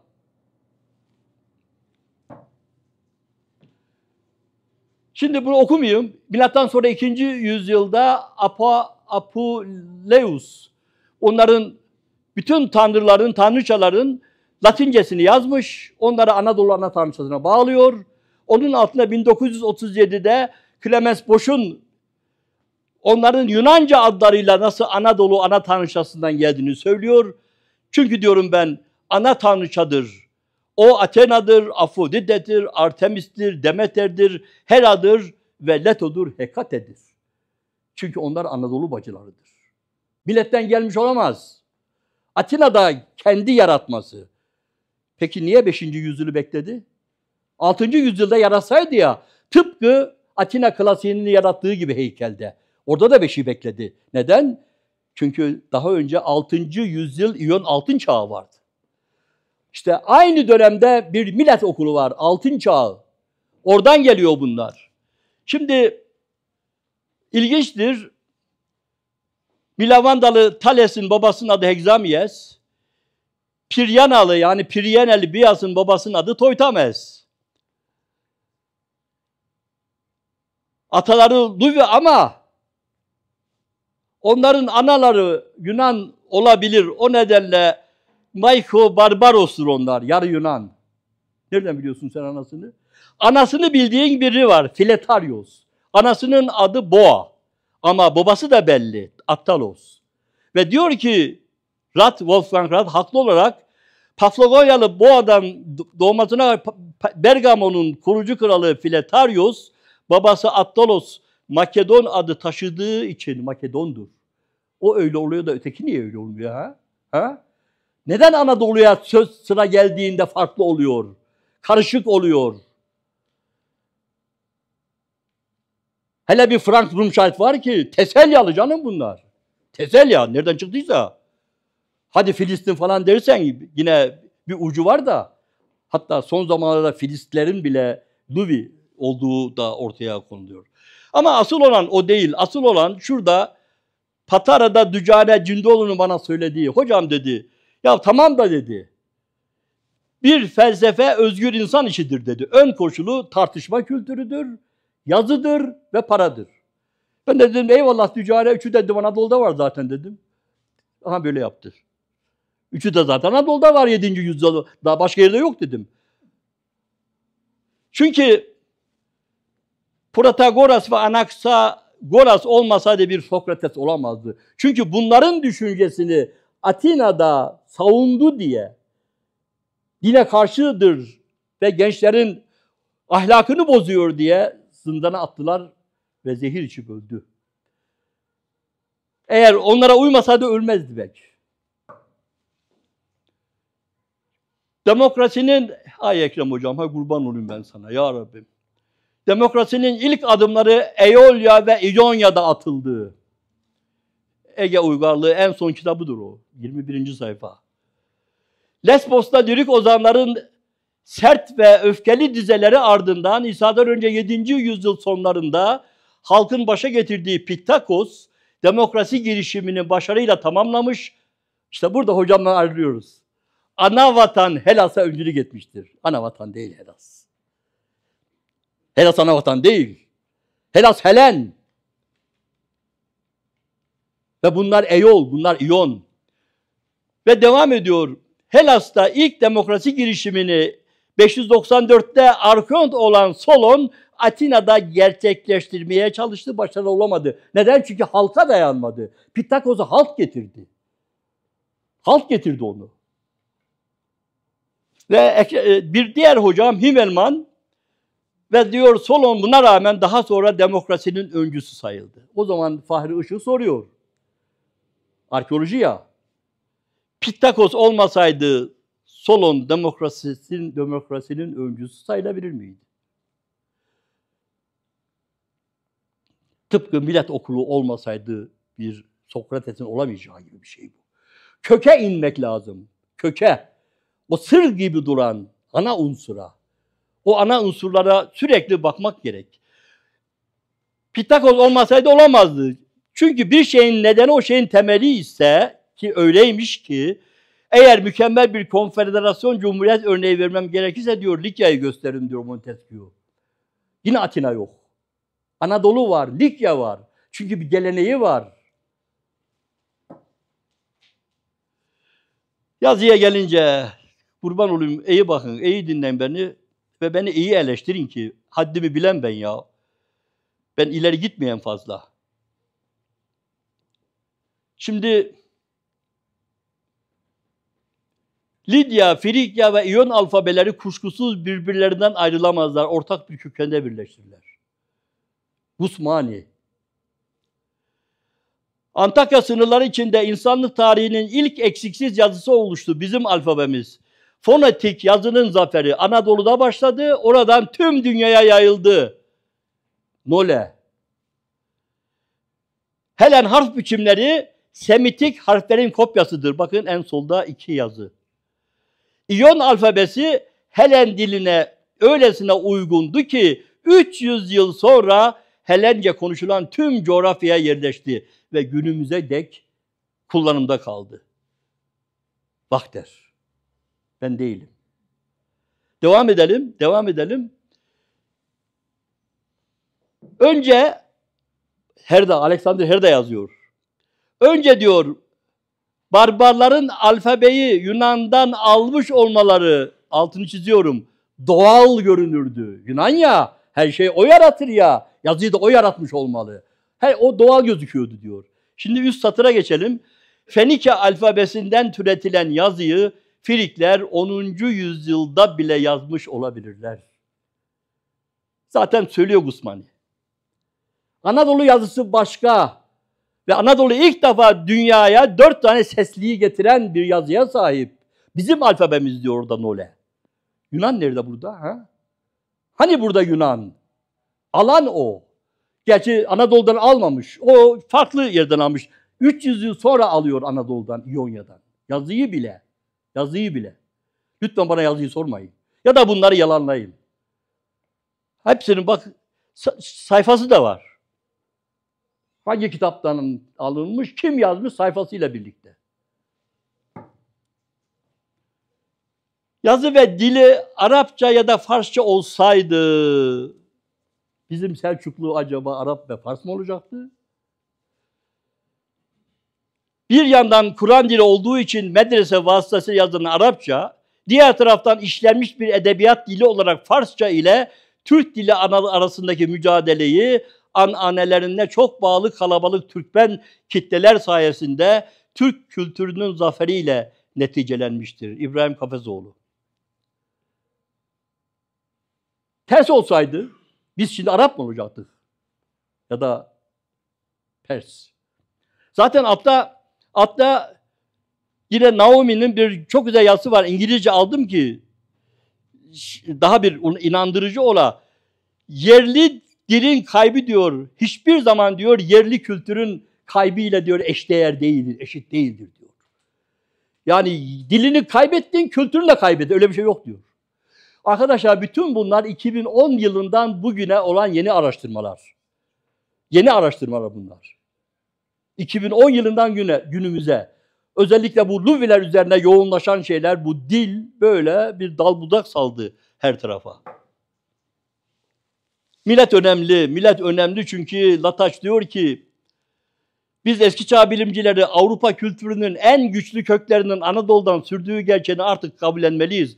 Gerçekte Avrupa'nın ana kenti Atina değil, millettir diyor. Deminden beri söylüyorum milletin önemini, yaratıcılığını, ortaya koyduklarını, dilde, yazı da dahil. Şimdi dikkat edin. Homer diyor ki bunlar barbar dili konuşurdu. Mikale'de, Milletos'ta, Piryene'de, Herodot da aynı şeyi söylüyor. Ama efendim bu Barbarofonos'muş. Yani Yunan dilinin karcasıymış. Yani karca diyaleğiymiş. bunlar bilmiyordu ya öyle yazmayı. Onlar bu diyalekti demeyi yaz, bilmiyorlardı değil mi? Onun için bunlar barbar dili diyor. Barbara fonos neden çıktı? Çıkaracaklar. Çünkü yavaş yavaş doğruya gelecekler. 200 yılın o o inandırıcı, inandırıcı olmayan hallerini başka türlü hallerinden başka türlü kurtuluş yok. Birdenbire hayır bu böyle değildi. Hakikaten Anadolu vardı bunun merkezinde diyemezler. Yoksa bütün kitap kütüphanelerinin halini düşünün. Bugünkü dünyayı yaratan o Yunan e, hayranlığıyla yazılmış olan bütün kitaplar. Yavaş yavaş olacak. Yavaş yavaş. Lubi hieroglifi var millette. 9. yüzyıl, geç 9. yüzyıl ama ne hikmetse 2008 yılında söylüyor Alexander Herda bunu. Yayınlayacağız diyor. Üç kişi. Ama hala yok. Neyin nesi? Neyin nesi? Eğer Güney Doğu Anadolu'dan gelmişse görelim bunu diye. Bütün bunlardan ben şunu demek isterim. Bu konuyu en iyi yazan Erhard'tır. Millet ve Zayna Koloni'nin kitabında, Koloni kitabında. Diyor ki en sonunda 6. 8. yüzyıllarda özellikle Karadeniz'de kurduğu toplam 80 koloni açıklıkla millet karakteri göstermektedir. Bir millet programı çerçevesinde uzunca bir süreyi hedefleyen Pontus bölgesine göçe bir de Karyalılar katılmıştır. Yunan yok. O zaman Karadeniz'deki bu 80 koloni niye Yunan oluyor? Yunan'ın olmadığı, Yunan'ın gitmediği, Luvi kökenli olan milletlerin ve Karyalıların kurduğu bir kent. Nasıl Yunan kenti oluyor? Canım Yunanca konuşuyor. Millette Yunanca yazılıyordu 7. yüzyılda söylüyor. Görüyorsunuz hem Homer hem Herodot. Onlar barbar dil konuşuyorlardı diyor. Yazı Yunanca. Şimdi İngilizleşen bir dünya haritası var yukarıda. İngiliz mi oldu onlar hep? Ha? O sömürgeler 17. yüzyıldan bu tarafa İngiliz mi oldu? Hangisi İngiliz oldu? Ve aşağıda da Helenleşen eski dünya var. Ama onlar hep Yunan oldu ne hikmetse. Aynı koşullar. Ticaretle her tarafa yayılma, bu nedenle ikinci dil olarak her yerde bilinme. Ve halk kendi dilini unutmuyor. Hep ikinci dil. Herodot bilmiyor muydu ki Karca'yı Yunanca yazdı İyon diliyle? Neden? Okunsun diye. Okunsun ve bilinsin diye. Her tarafta okunsun diye. Ama milletin helal olmayan bir, bir yanı var. Kendi Athena'sı var. Bakın. Böyle bir Athena yok. En sonunda bir de o Athena'nın kanatları var. Elinde İlk defa Yunan dünyasında, Ege dünyasında zeytin dalı var. Yunanistan'a 100 yıl sonra gidiyor ve Akropolis Athena'sının simgesi oluyor o zeytin dalları. Ama ilk defa Milet'te yine. Ve o kanatlı Athena Yunanistan'da yok. İlk defa başlangıçta var. İlk Athena'da, üstte, Tenos'ta. Bir elinde mızrak, diğer elinde yay. Tıpkı e, Asos Athena'sı gibi. Ama artı bir de kanatları var tıpkı Millet Athena'sı gibi. Ama o Athena daha sonra Yunanistan, Anadolu'da Klazomena ilahiyatlerinde olduğu gibi devam ediyor. Şimdi dedim ya Nietzsche'nin o sözü bunlar Yunan kültürünün yaratıcılarıydı, dehasıydı, onun zekasıydı Dionysos ve Apollon diye. Diyor ki Frankolp Leto, Apollon, Artemis üçlüsü Likya'ya en erken 5. yüzyılda girmiştir. Şimdi dikkat edin aşağılamaya bakın. Milattan önce 7. yüzyılda ve hem de eski bir çiftçi ve çoban kültü içine bak bak aşağılamaya bak. Laf arasın. Allah sokuşturuyor. Onlar kim gidiyor? Çiftçi ve çoban onlar.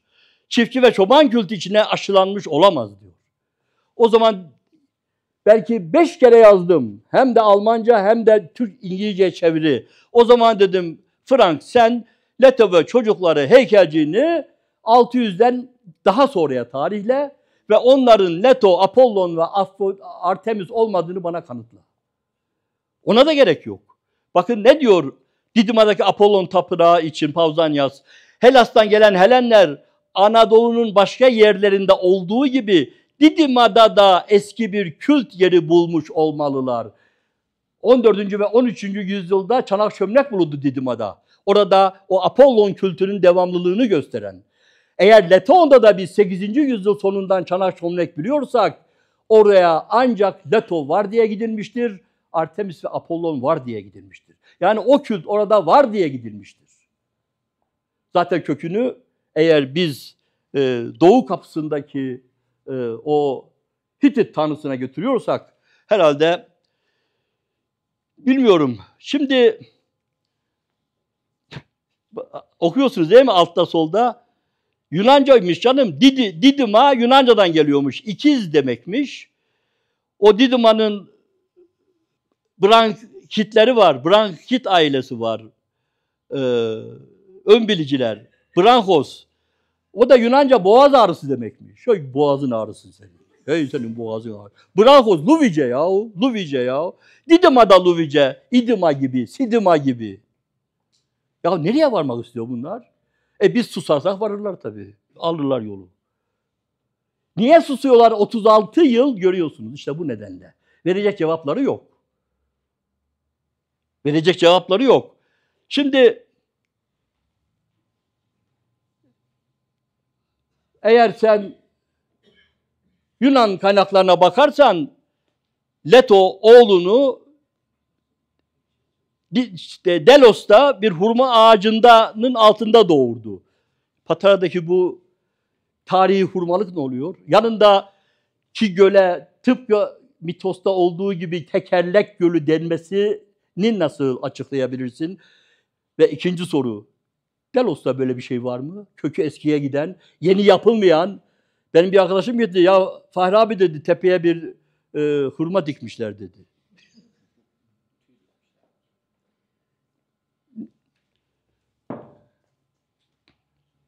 Her şey değişir, yalnız değişme değişmez demiş Herakleitos'da. E, görüyorsunuz bir de Ege ve Yunan tarihi değişmezmiş. O öyle kalacak o. Ama mitos, efsane değil de logos, düşünce yazarsa Ege ve Yunan tarihini deminden beri anlatmaya çalıştığım için o da değişir. 120 yıl Manfred'e kadar 120 yıl aynı malzemeyi okuyarak Troya 6 ve 7 aya Yunan dedi herkes. Rahmetli hocam da dahil. Aynı malzeme. Ne oldu da birdenbire iyon oldu? Ve ondan sonra adamı kanser ettiler. Biz 1988'de buralarda olunca yani Tulos'ta, Patara'da ve Likya'da Milattan önce 7. yüzyıl öncesi yoktu. Rodoslar gelmişti Helenlerle, Helenler, Rodos Helenleri, Dorları. Onlar adam etmişti bu çobanları, bu çiftçileri. Kültür öyle başlamıştı. Ama şimdi 6. bin yıl oldu hem Tulos'ta hem Patara'da. Ve uygarlık Helenlerle başlardı, şimdi Luvi oldu. 7. yüzyıl öncesi Kısantos Vadisi de yoktu. Şimdi Girmeler mağarasıyla inanamıyorum ama, inanamıyorum. Hala bekliyorum yani tam sağlam bir kanıt. 11. bin yıl oldu. Göbekli Tepe'ye ulaştılar. Ama hadi 9 diyelim. Belki 11 kanıtlamak biraz ama kanıtladık diyoruz. Ve öyle derken çiftçi ve çoban derken Frank Kolp benim bir başka öğrencim Gökhan Tiryaki gezerken geçen yıl Elmalı'da Karapınar Höyüğü'nün üstünde şunu yazıyı gördü. Üzerinde mühür, mühür üzerinde bir yazı var. Luvici olmalı, okuyamıyorlar. Çobana bak sen. Hem de dağlarda, Milyas'ta. Ve Pamfilya'da 200 yıl boyunca tüm Helen kabilelerinin ülkesiydi.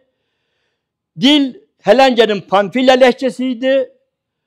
Orada şu yazdığım kitapla tüm Luvis soylu kabileler ülkesi dedim ve dilin adına da Panfilyaca dedim.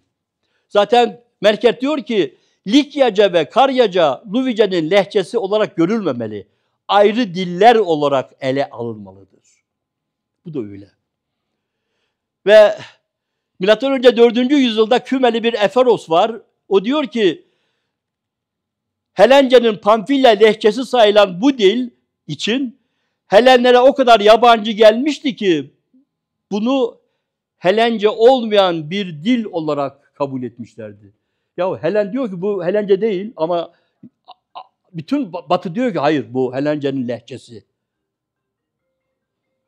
Biz de diyoruz ki ha Batı böyle diyorsa Batı taklitçiler olarak Erbakan'ın deyişiyle İstanbul'da Anadolu olacak. Anadolu oldu zaten farkında değiliz.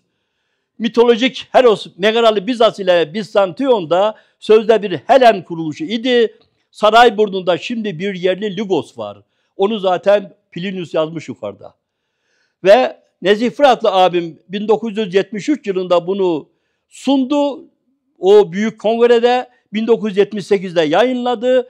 Şuradaki çömleklerin geç Tunç çağından olduğunu yani Negaralı gelmeden 500-600 yıl önce ama en önemlisi bir taş balta bulmuş Sarayburnu'nda gezerken. Yeşil bir taş balta, demir çağ öncesi. Yani ben yeni kapıyı demiyorum, yeni kapı farklı. Bizantiyon burası, Sarayburnu. İstanbul'da artık Yunan değil. İyonlara da 200 yıl aşan zaman Doğu Yunan denirdi. Sözde Atinalı İyonlar gelmeden 250 yıl önce Anadolu'da bir büyük İonya'nın varlığı okundu Amenofis 3. yazıtında.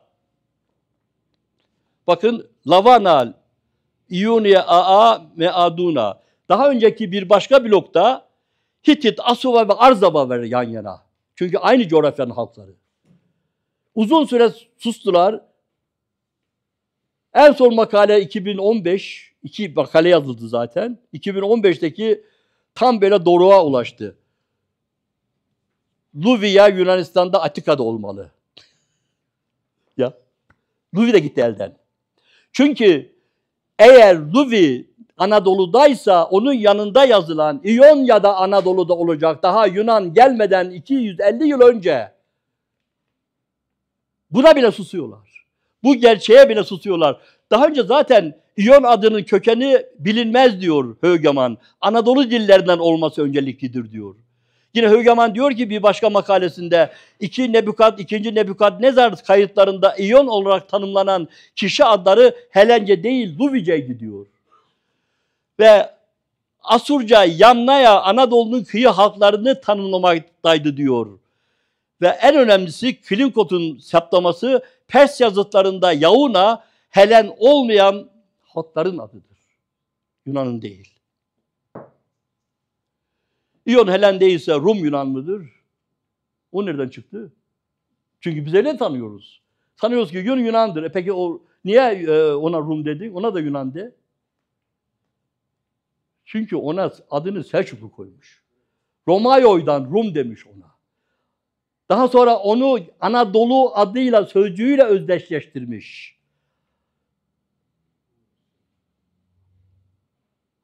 Anadolu Selçuklarına ne deriz biz? Rum Selçukları ayrıca.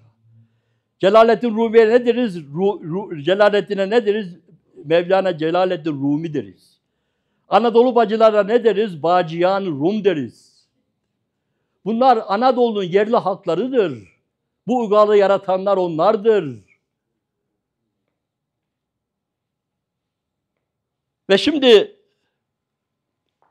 Petropulos'un Anadolu Rumları, demokratlar, ilericiydiler, Yunanlar nefret etti onlardan demesi var.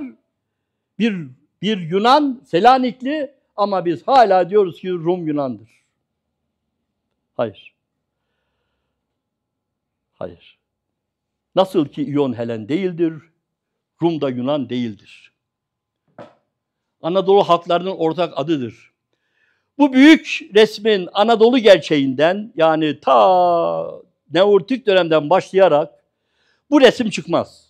Yani Yunan'ın bugün Yunan şey Atina'ya astığı bu resim Yunanlar bütün sanatın ve kültürün atalarıymış. Üste öyle yazıyor. Altta da Yunancası var. İnsanlığın en değerli mirası bir kadim yurdun yaratılarına sahiplik görevi çıkar bundan. Biz buna sahip olmalıyız. O görev çıkar. Çünkü mesele soy, sop ve dil din değildir. Beni bilen bilir. Benim politik görüşümü de bilenler herkes bilir. Hiç değişmeyen. Tıpkı Anadolu kültürlerinde olduğu gibi. Bu nedenle böyle bir yafta takmaya kimse yanaşmasın. 12 bin yıl boyunca aynı ocağı yakan Üste Tunceli Müzesi'nden çektim o resmi. Yeryüzünde tek yurt Anadolu'da kimliğinden edilen insana, köklerinden koparılan toprağa, yaratıcısından çalınan kültüre, gerçeğinden saptırılan bilime ve emeğe sahiplik. Benim derdim o. Ve atalarımızdan gördüğümüz şu ki 12 bin yıl boyu Anadolu'da hep olan neyse o var olanı farklı inanç biçimlerine uyarlayarak sahiplenmek ve ondan adı artık Selçuklu olan öz biçimler yaratmak. Bir Ermeni kubbesinden kendi kale mescidi kubbesini ya da bir ula e, kümbet mezarını yaratmak. Ve Atatürk diyor ki son ata bir vatanın sahibi olmanın yolu o topraklarda yaşanmış tarihi olayları bilmek, doğmuş uygarlıkları tanımak ve onlara sahip olmaktan geçer. Mesele bilimde de bağımsızlık ve özgüven meselesidir. Bir Mustafa Kemal'in izinde olabilme, ülküsüne sahiplenme meselesidir. Hepinize saygıyla sunuyorum.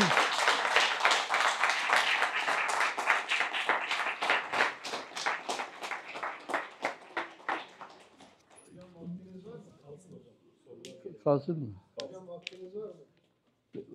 Arkadaşlarım bilir. Arkadaşlarımızın da izniyle. İki ekleme yapabilir miyim? Atatürk'ün söyleminden de hareket ederek sizin de. Birincisi Megaro'nun ilk örneği. Siz ilk örneği diye ifade etmediniz. Doğrusunuz Truva'da Anadolu'dan Yunan'a geçti. Ama daha da içerilerde Kültepe, Karahöyük'te intermediyet katmanında o Ama mermer- 3000'den so- onlar mermer- 3000'den sonra, Doğu. idollerin Onlar bulunduğu 3000'den sonra. tapınak. 2150 intermediyet dönem. İki- Onda 3000'den sonra Troya 3000, Troya A 1. Öyle mi hocam? E tabii. Ha, Üç- yani üç- üçüncü bin yılın başı. Tabii tabii Anadolu. Anadolu. tarihiyle Evet. ilgili. Evet. İkinci hususta Kurt Bittle'ın baskısıyla yıllarca bizim farkına varmadan e, mücadele ettiğimiz, kabul ettiğimiz efendim Afyon'un batısına geçmemiştir. Olur mu? Olur mu? Ha, ama Kurt Bittle bunu kendi yandaşlarına ve Yunanlara dünyaya kabul ettirmiş. Oysa e, işine gelmediği zaman Karabel Mustafa Kemal Paşa anıtının da Hitit kralının bir seferinde e, zafer anıtı, anısı olarak orada bulunduğunu kabul ettirmiş, iddia etmiş. Halbuki rahmetli hocamız Ordinaris Profesör Sedat Alp e, sanırım yanılıyorsam düzeltin lütfen. Hitit tarihi coğrafyasını en iyi yerlerine oturtturan kişiydi. E, sizin de dediğiniz gibi Ahiyava'yı Truva bölgesine hatta Uludağ'ın Hititçe adının bile Zipbaş'la Hariyati dağı olabileceğini söylemişti. Kurt Bittl e, şey diyor bir zafer anıtıdır istilacı Hititlerin batıya diyor. Yani bunun hatırlanmasında mutlaka bütün meslektaşlarımız, belki dinleyenlerimiz biliyor. Evet. Teşekkür ederim. Sağ ol hocam. Sağ ol. Buyur Vedat'ım. Çok teşekkürler. Çok güzel bir konferans. Çok şey de değişti gerçekten son 20-30 yılda arkeolojide, Göbektepe'de de tarih ileri gitti, İstanbul değişti, tarih ileri. Onlara da değindim. Ben şimdi şey, bizim Nuza'dan bir şey diyeceğim. Nuza'da biliyorsun Demeter e, Korek kültü var. Ben onu araştırırken haliyle Eleusis gizemlerinden direkt Eleusis'e girdim. Milattan önce 1600-1400 Eleusis. Yunanistan'da Tebari. Narna'ya yakın. Şimdi oraya girdiğim zaman şeye geldim. Nedir? Orada işte bu Demeter tapımı bilmem ne, İmparator Hadrian'ın falan Sarıcısın diye böyle şey ikinci yüzyılda Roma döneminde oraya bilmem ne. Fakat Müzde de yaptığımız araştırmalarda Harbiye'den şeyi nedir baş nazırı Müzdalı çıkıyor. Ama kayıtlarda yok. Yani nereye kayıtlarında Harbiye'nin müze uğradı demiyor. Ondan sonra şeyde. Ve özellikle Müzdalı Kürt olduğu için Harbiye'nin mutlaka ziyaret etmiş olmalı bence. Sonra Müzde'de yaptığımız kazılarda tabii ben haliyle araştırıyorum. Şimdi Karyalılar, Girit'teki Uçik'te Balta, ana tanrıça şeylerinden Karya'da var. Oradan ilk üzerinden 3. binde Anadolu'dan şeye bir geçiş var. Yunanistan'a. Ondan sonra orada şeye Lakedaimonlara geçiyor iş. Ispartalılara. O konuda biraz şeyin oldu mu? Vallahi ben-. Helaklar olarak da geçiyor. Ispartalılardan sonra şeye dönüyor. Tekrar bu ikinci İyon göçü, Ege göçü dediğimiz göçe geçiyor Karya'da. Anlaşılan Girit dolayısıyla Anadolu'dan dediğim gibi haklısın o konuda. Anadolu'dan 3. bin yılda bir göç var. Evet. Orada işte daha sonra kuzeyden gelen Trak, Trak kavimlerinden gelen çeşitli bir kabile adı var tabii. Bunların arasında Lakedaimonlar falan var. Ve ben yani müzede bu Lakedaimon'un şeyini yakaladım. Var. Hı. Ünlü Alkibiades şimdi müzeyle alakası var. Ve hatta şeyden sonra o başına gelen olaydan sonra Bitinya'da Melisa'ya gidiyor. Ondan sonra ayrıca Hadrian'da Anadolu'ya geldiğinde Melisa'ya gidip onun mezarını ziyaret ediyorlar. Yani bunlar çıktı. Ne diyorsun? Karyalılar bence, Ünlülerle birlikte Karyalılar. Vallahi Yani arkadaşım şimdi Adnan'ı çalışıyorum ben bu ara. Benim en çok e, kızdığım şey özellikle Ümit abim üzerinden çok şey yapardım bunu. O kadar akıllı, o kadar bilgili, o kadar yetenekli bir insan nasıl bir şey üretmeden gider diye. Çünkü bir şeye başlardı, oraya bitir bırakırdı ötekine, ötekine. Ben de öyle oldum Adnan'dan sonra. Ee, hemen yazıyordum şeyi, Hekatomın Islahatini bıraktım. Ona bir lik, çünkü 3 yıl önce e. Evet Pamfile kitabını yazdığımda bana övgüler dizdi. Dedim oğlum eğer 3 yıl içinde Karya kitabını yazmazsan bak ben yazarım sana utanç olur dedim. Şimdi ona geçmek istedim. Yani bu ara çok böyle doluyum. Bu, bu, bu ara Adnan'la doluyum ya. Hele şu bir geçelim şu oğlanı da. Çünkü beni beni e, izleyen biriydi ve e, ya, araştırmaların bütün sonuçları aynı bana götürüyor. Yani Karyalıların ve Likyalıların başlangıçtan Roma çağı sonuna kadar Anadolu kimliklerini kaybetmedikleri sonucuna. Söylüyor. Evet. Üçüncü binde Girit denen Girit- ortadaki büyük ada o ikinci binde de o büyük uygarlığı yaratıyor. Minos sarayları falan işte. Faistos, Hagiateria dönemi. Girit denen üçüncü yılda Karyalılar ve bahsettiğim Lelekler ve şeyler Louis'ler, Milandalılar, Evet. Milaslılar, pardon Miletliler bir gidiyorlar şeye Hellas'a. Başta orada Atina'yı gidiyorlar, Eleusis, Meleusis var orada. Ama işte bu iş böyle şeyle Gençler var, gençler, gençler yapar. Ha, ileride çıkacak. Dediğin gibi arkeoloji bir okyanus. Ben bir okyanus diyordum. Ay Senin babam benim. konferanstan sonra beş okyanus diyordum. Ey canım benim. Bir okyanusların Canım. hepsinden fazla. Çok derin bir bilim dalı. Yani Evet. ben haliyle bu Demeter mitolojisi Beraber konuşalım sonra onu. Bir arada konuşalım. Sohbet, yukarı mı götüreceksin? Ee, soru Hocam varsa ben, bir e, iki soru bir, alalım. e, Sizi yorduk Çok çünkü. teşekkür ediyorum bu güzel konferans için. E, yalnız e, yani herkesin e, ben de Almanya doktorasını bir, yapan birisi olarak yani böyle çok yanlı olduklarını düşünmüyorum. Öncelikle onu söyleyeyim. Yani Almanları savunmayacağım burada ama e, herkes öyle değil. Özellikle Walter Buchert'in Evet. 2012 yılında yayınlanan İyon e, tam okuyayım ismini yani Yunan kültüründe yakın doğunun etkileri diye bir kitabı var. Onun doğuya etkileri de var. Dolayısıyla burada e, yani e, bunlar çok ayrıntılı sizin e, görüşlerinizi destekler şekilde anlatmış. Dolayısıyla hani bunları e, yabancı meslektaşlar da söyleyenler var. Dolayısıyla e, görüşlerinize İyon, Doğu Yunan, İyon kültürü konusunda katılıyorum. Evet e, 5. yüzyılın başına kadar 494'e kadar e, itici güç e, Anadolu, İonya ama tabii burada e, Doğu Yunan derken e, Avrupalılar sadece İyonları mı kastediyor? Şimdi Samos diyorsunuz. Samos Anadolu değil. Niye? Dolayısıyla İonya. Samos. İonya. Dolayısıyla bütün Hayır, hayır İonya Anadolu. zaman- Hayır Anadolu coğrafyasında değil mi? Onu demek Tabii, istiyorum. e, yani Anadolu coğrafyası şimdi adaların mimarisiyle Yunan, e, Batı Anadolu'nun mimarisi de farklı arkaik dönemde. Dolayısıyla burada iki Ben ona kültür- rastlamadım. var olur mu? Şimdi bana- Samos e, Beyeş'te yazdın mı bakın? Samos evet, e, Herayon'un kaydeleri farklıdır. E, Canım işi, işi senden Nevzat gibi şimdi yok, şeye, yok, hayır demek istedim şimdi e, burada ada Hayır, seyline ada getirme. kültürü de var, Batı Anadolu kültürü de var. Burada Evet. şimdi e, Batı Anadolu'nun tamamını İyon demek doğru mu olur? Yok canım. Tabii ki. Yani Bilemeyiz. Sonuçta Sınır çizmek zor. Gerçekten de İyon kültürü, İyon mimarisinin yaratılması da Ayol sanatının yaratılmasıyla hakikaten öncü. Ya, Evet. Altın çağıyla ölçü, öncü ama burada hani Doğu Yunan dediğimiz zaman hani Avrupalı Almanların e, Ostgrische Kunst. Tamam. e, ne kadar e, İyon'u e, karşılıyor, karşılamıyor dedi. Haklısınız. Ama İyon dediğimiz zaman da hepsini karşılamıyor.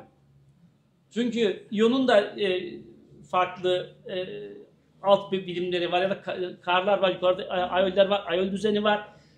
Dolayısıyla bu konuda hem katılıyorum size ama tamamını da iyonlaştırmak da Yok canım yani doğru ben bir- sınır çizemem. Ha, doğru bir şey değil gibi geldi bana ama doğru hakikaten ben katılıyorum. Tabii ki bütün bu kültürlerin birbirine etkilememesi mümkün değil. Ve özellikle e, İonya'nın e, Orta Anadolu'yla, Mezopotamya'yla, Mısır'la etkileşmesi bariz belli. Yunanistan tamamen farklı. Mimari de farklı. İyon mimarisi de farklı.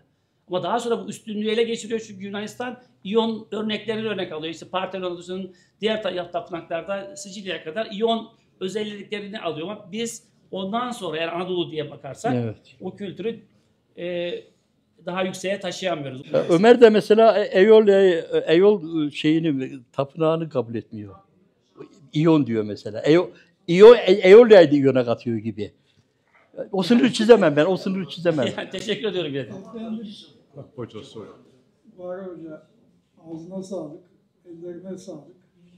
Çok büyük bir iş yapıyorsun. Allah sana uzun ömür versin de çalışma Hep azminin, beraber. azminin devamını versin. Ama eğer rektör bey burada olsaydı onun yanında söyleyecektim. Bu senin yaptığın tek bir kişinin yapacağı iş değil. Ya kurban olayım ben sana ya. Bunun devletçe sahip çıkılması gereken bir konu bu. Yani yanlışlar olabilir, Tabii hatalar canım, olabilir ama büyük bir işe giriştim. Eline sağlık. Ben onu önerecektim. Bir enstitü kurulması lazım bu konuda. Bunun gibi birkaç konu daha var Türkiye arkeolojisini ilgilendiren. E, Maalesef e, mevcut kurumlarımızdan böyle bir şey göremiyoruz. Keşke olsa. Benim baştan beri düşüncelerimde hatta yazıyla da bakanlığa kadar sunduğum arkeoloji kurumu, enstitüsü diye arkeoloji kurumu, onun altındaki enstitülerden ve en önde geleninin bu olması lazım. Yani biz dediğim gibi Allah uzun ömür versin ama bu tek kişinin yapacağı yok, bir iş değil. yok Çünkü Bak burada gösterdiğim arkeolojiyi içeren tüm konulara değindin sen burada. Yani yazısından tut, değil mi? Heykelinden Ne yapayım? seramiğine, yani insanoğlunun Ne yapayım olayım elinden yani. çıkan her şeye değindin. Bu bir kişinin yapacağı iş Yok, değil. yok. Hocam oraya küçük bir şerh, e, hocama katkı ve e, küçük bir e, şerh koyacağım. Asım Keser. E, efendim bu hocamın önerdiği şey resmi, kurumsal, devlet, kurum deyince biraz da onun kurumuna bulaşmak gibi olur. Bu kurumun içinden biri olarak diyorum. Mesela hocam hiçbirinin arkeolog sanat tarihçisi olmadığı teftiş kuruluna dört defa hitap etmiştir. Senin varlığında Ya mı? estağfurullah Sen ama işte sivil inisiyatifin önemine ve görkemine işaret anlamda. Müfredata aldığımız zaman bu müfredattaki diğer silik sönük vaziyetlerden birine dönüşür. Mesela salona müjdeleyeyim. Sanırım haftaya hocam kamu ihale kurumunda tek arkeolog ve sanat tarihçisinin olmadığı, benzeri yakın muadil bir branşın bile olmadığı kamu ihale kurumundaki 400 kişiye hitap edecek. Ben tam da sivil olarak sivil inisiyatifin görkemi, gücü anlamında bunun devamının çok daha görkemli olduğunu izleyerek, yaşayarak, yaşatarak soluyorum. Asım Teşekkür şimdi senin gibi özellikle Orhan'ın dediği bakanlıkta bir hanım geldi Patara'ya. Beni okumuş. Hocam nasıl bunu? Dedim kızım yapacağınız tek şey bu konuyla ilgili herkesi çağıracaksınız. Orhan'ın dediği gibi bir sempozyum olur, bir e, masa topla neyse artık. Ben bir sunumumu yapacağım. Herkes kendi konusunda ne biliyorsa ortaya koyacak. Yerli ve yabancı. Sadece yer- yerli değil, yabancılar da dahil. Ve ondan sonra eğer doğruluğu belgelenirse o zaman siz bunu bir kültür politikada yapabilirsiniz. Ama ondan önce ben onun vebaline giremem dedim. Bu böyle olmalı. Ben böyle diyorum da bu böyledir. Hayır ben yalnızım. Benim karıma en en fazla kızgınlığım ondan. Bir pataradır tutturdu, bir deniz feneridir tutturdu. Halbuki çok akıllı.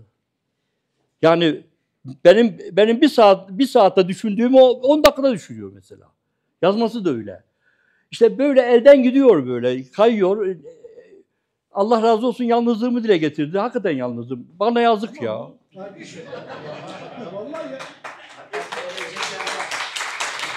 O da yalnız aslında da. O da farkında. Bu tartışmakla olmaz. Bunu sonuçlara ulaştıktan sonra ortaya bir şey koymak, koymak lazım. Onun için bir. Yoksa tartışma olacak. Daha 2006'da da yapmıştık bu tartışmayı biliyoruz. Evet. Sonunda o 80 tane laf çıktı. Sonu gelmedi. Mesela şu Ömer'inki şeyi beni e, çok e, mutlu ediyor. Ömer çünkü belirli bir konuya yo- yoğuşla, yoğunlaştı. Yani benim mimari hakkında söylediklerim geri planda artık onun dedikleri dışında. Çünkü o artık o konunun uzmanı. Hocam bu konuda ben e, eleştiri yapacağım şöyle. Ömer Hoca istediği gibi e, buluntuları manipüle ediyor. Yok be ya. Evet. Daha bakın. Kitaba bakın. Kitapta bir da tane bir şey orijinal fotoğraf, bir tane orijinal çizim var. Hepsi restitüsyon. Bir tane bakın. O çizimler, planlar yanlış mı? Bakın, Planlar beni ilgilendiriyor. hiçbir tane eserin orijinal fotoğrafı yok. Hiçbir tane orijinal fot- eserin çizimi, birebir çizimi yok. Hepsi restitüsyon. Kafasına göre tamamlıyor, ona göre tarih veriyor. Planlar da mı öyle? Aynen öyle. Dolayısıyla ben dikkat etmenizi öneririm. Belki de kazık yapsın. Çizimlerde. Sayın Hocam izin verirseniz ben de bir iki cümle söylemek isterim. O kurban oluyorum hadi. Ellerinizden öpüyorum. Ağzınıza sağlık. Ee, ilk önce e, bu Alman şeyi çok doğru bence. Onun ağ babasını Salome Winkel. Winkelmann zaten ne dedi? Ee, Direkt dünyası, yani baba dünyası, direkt dünyasının kopyası. 19. yüzyılda Anadolu'ya gelen tüm arkeologlar, Alman arkeologlar geldikleri ve kazdıkları her yeri Helenistik dönem zannettiler. İşte Orhan Hocam burada. Ee, Arbustus Magnezya'yı kasıldı. kökten değiştirdi canım. e, şunu ispatlamaya çalışıyor. Hayır orası e, Helenistik dönem değil. Sonuç olarak Almanlara söylediğiniz zaten Winkelmann'la başlayan bir şey. 18. yüzyılda bunu niye yaptılar? Çünkü Avrupa'daki bu ülkeler o sayede. Eğer bir Black kültürü üzerine oturtmasalardı bunu, bu e, neoklasik e, neoklasizm eğer olmasaydı e, zaten bu olmazdı. Size e, nacizane bunu sizde özel sohbetlerimizde de konuşmuştuk. Ben de e, bunu şöyle düşünüyorum. Bu sizin fikrinize katılmak da şey e, bana şey olmaz ama haddime değil ama Helenistik dönem e, bulduğunuzda çok ben de aynı fikirdeyim. Neyin Helenistiği? E, işte klasik dönemdeki Atina Akropoli mimarisini ve benzeri biliyoruz. Helenistik dönemde kafamızı Anadolu'ya çeviriyoruz. Adalar dahil tabii. Samos e, veya şey fark etmez. Ege adaları dahil Anadolu. 8 tane Pseudipteros yapılıyor. Bana bir kişi kıta Yunanistan'da yapılan Pseudipteros söylesin. Urfa Artemis. Arkaik dönem değil hocam. E, Helenistik dönem. Var mı hocam? Yok. Roma döneminde var mı? Yok. Ama Anadolu'da ve e, tabii ki Akdeniz dünyasında. Doğal olarak e, doğal olarak hani bu söylediğiniz Helenistik dönem zaten Helenistik dönem aldatmacası olarak düşünüyorum. E kurban olayım ne yazıp da e, buradaki benim benim benim benim beni boş boşuna uğraştırıyorsun ya. Hocam ben Ulan bunları yazın ya. Hocam 30 yıl var, daha 50 yıl var. Bunları yazın ya. Ağzınıza sağlık. What you gonna do? What you gonna do when they come for you? When you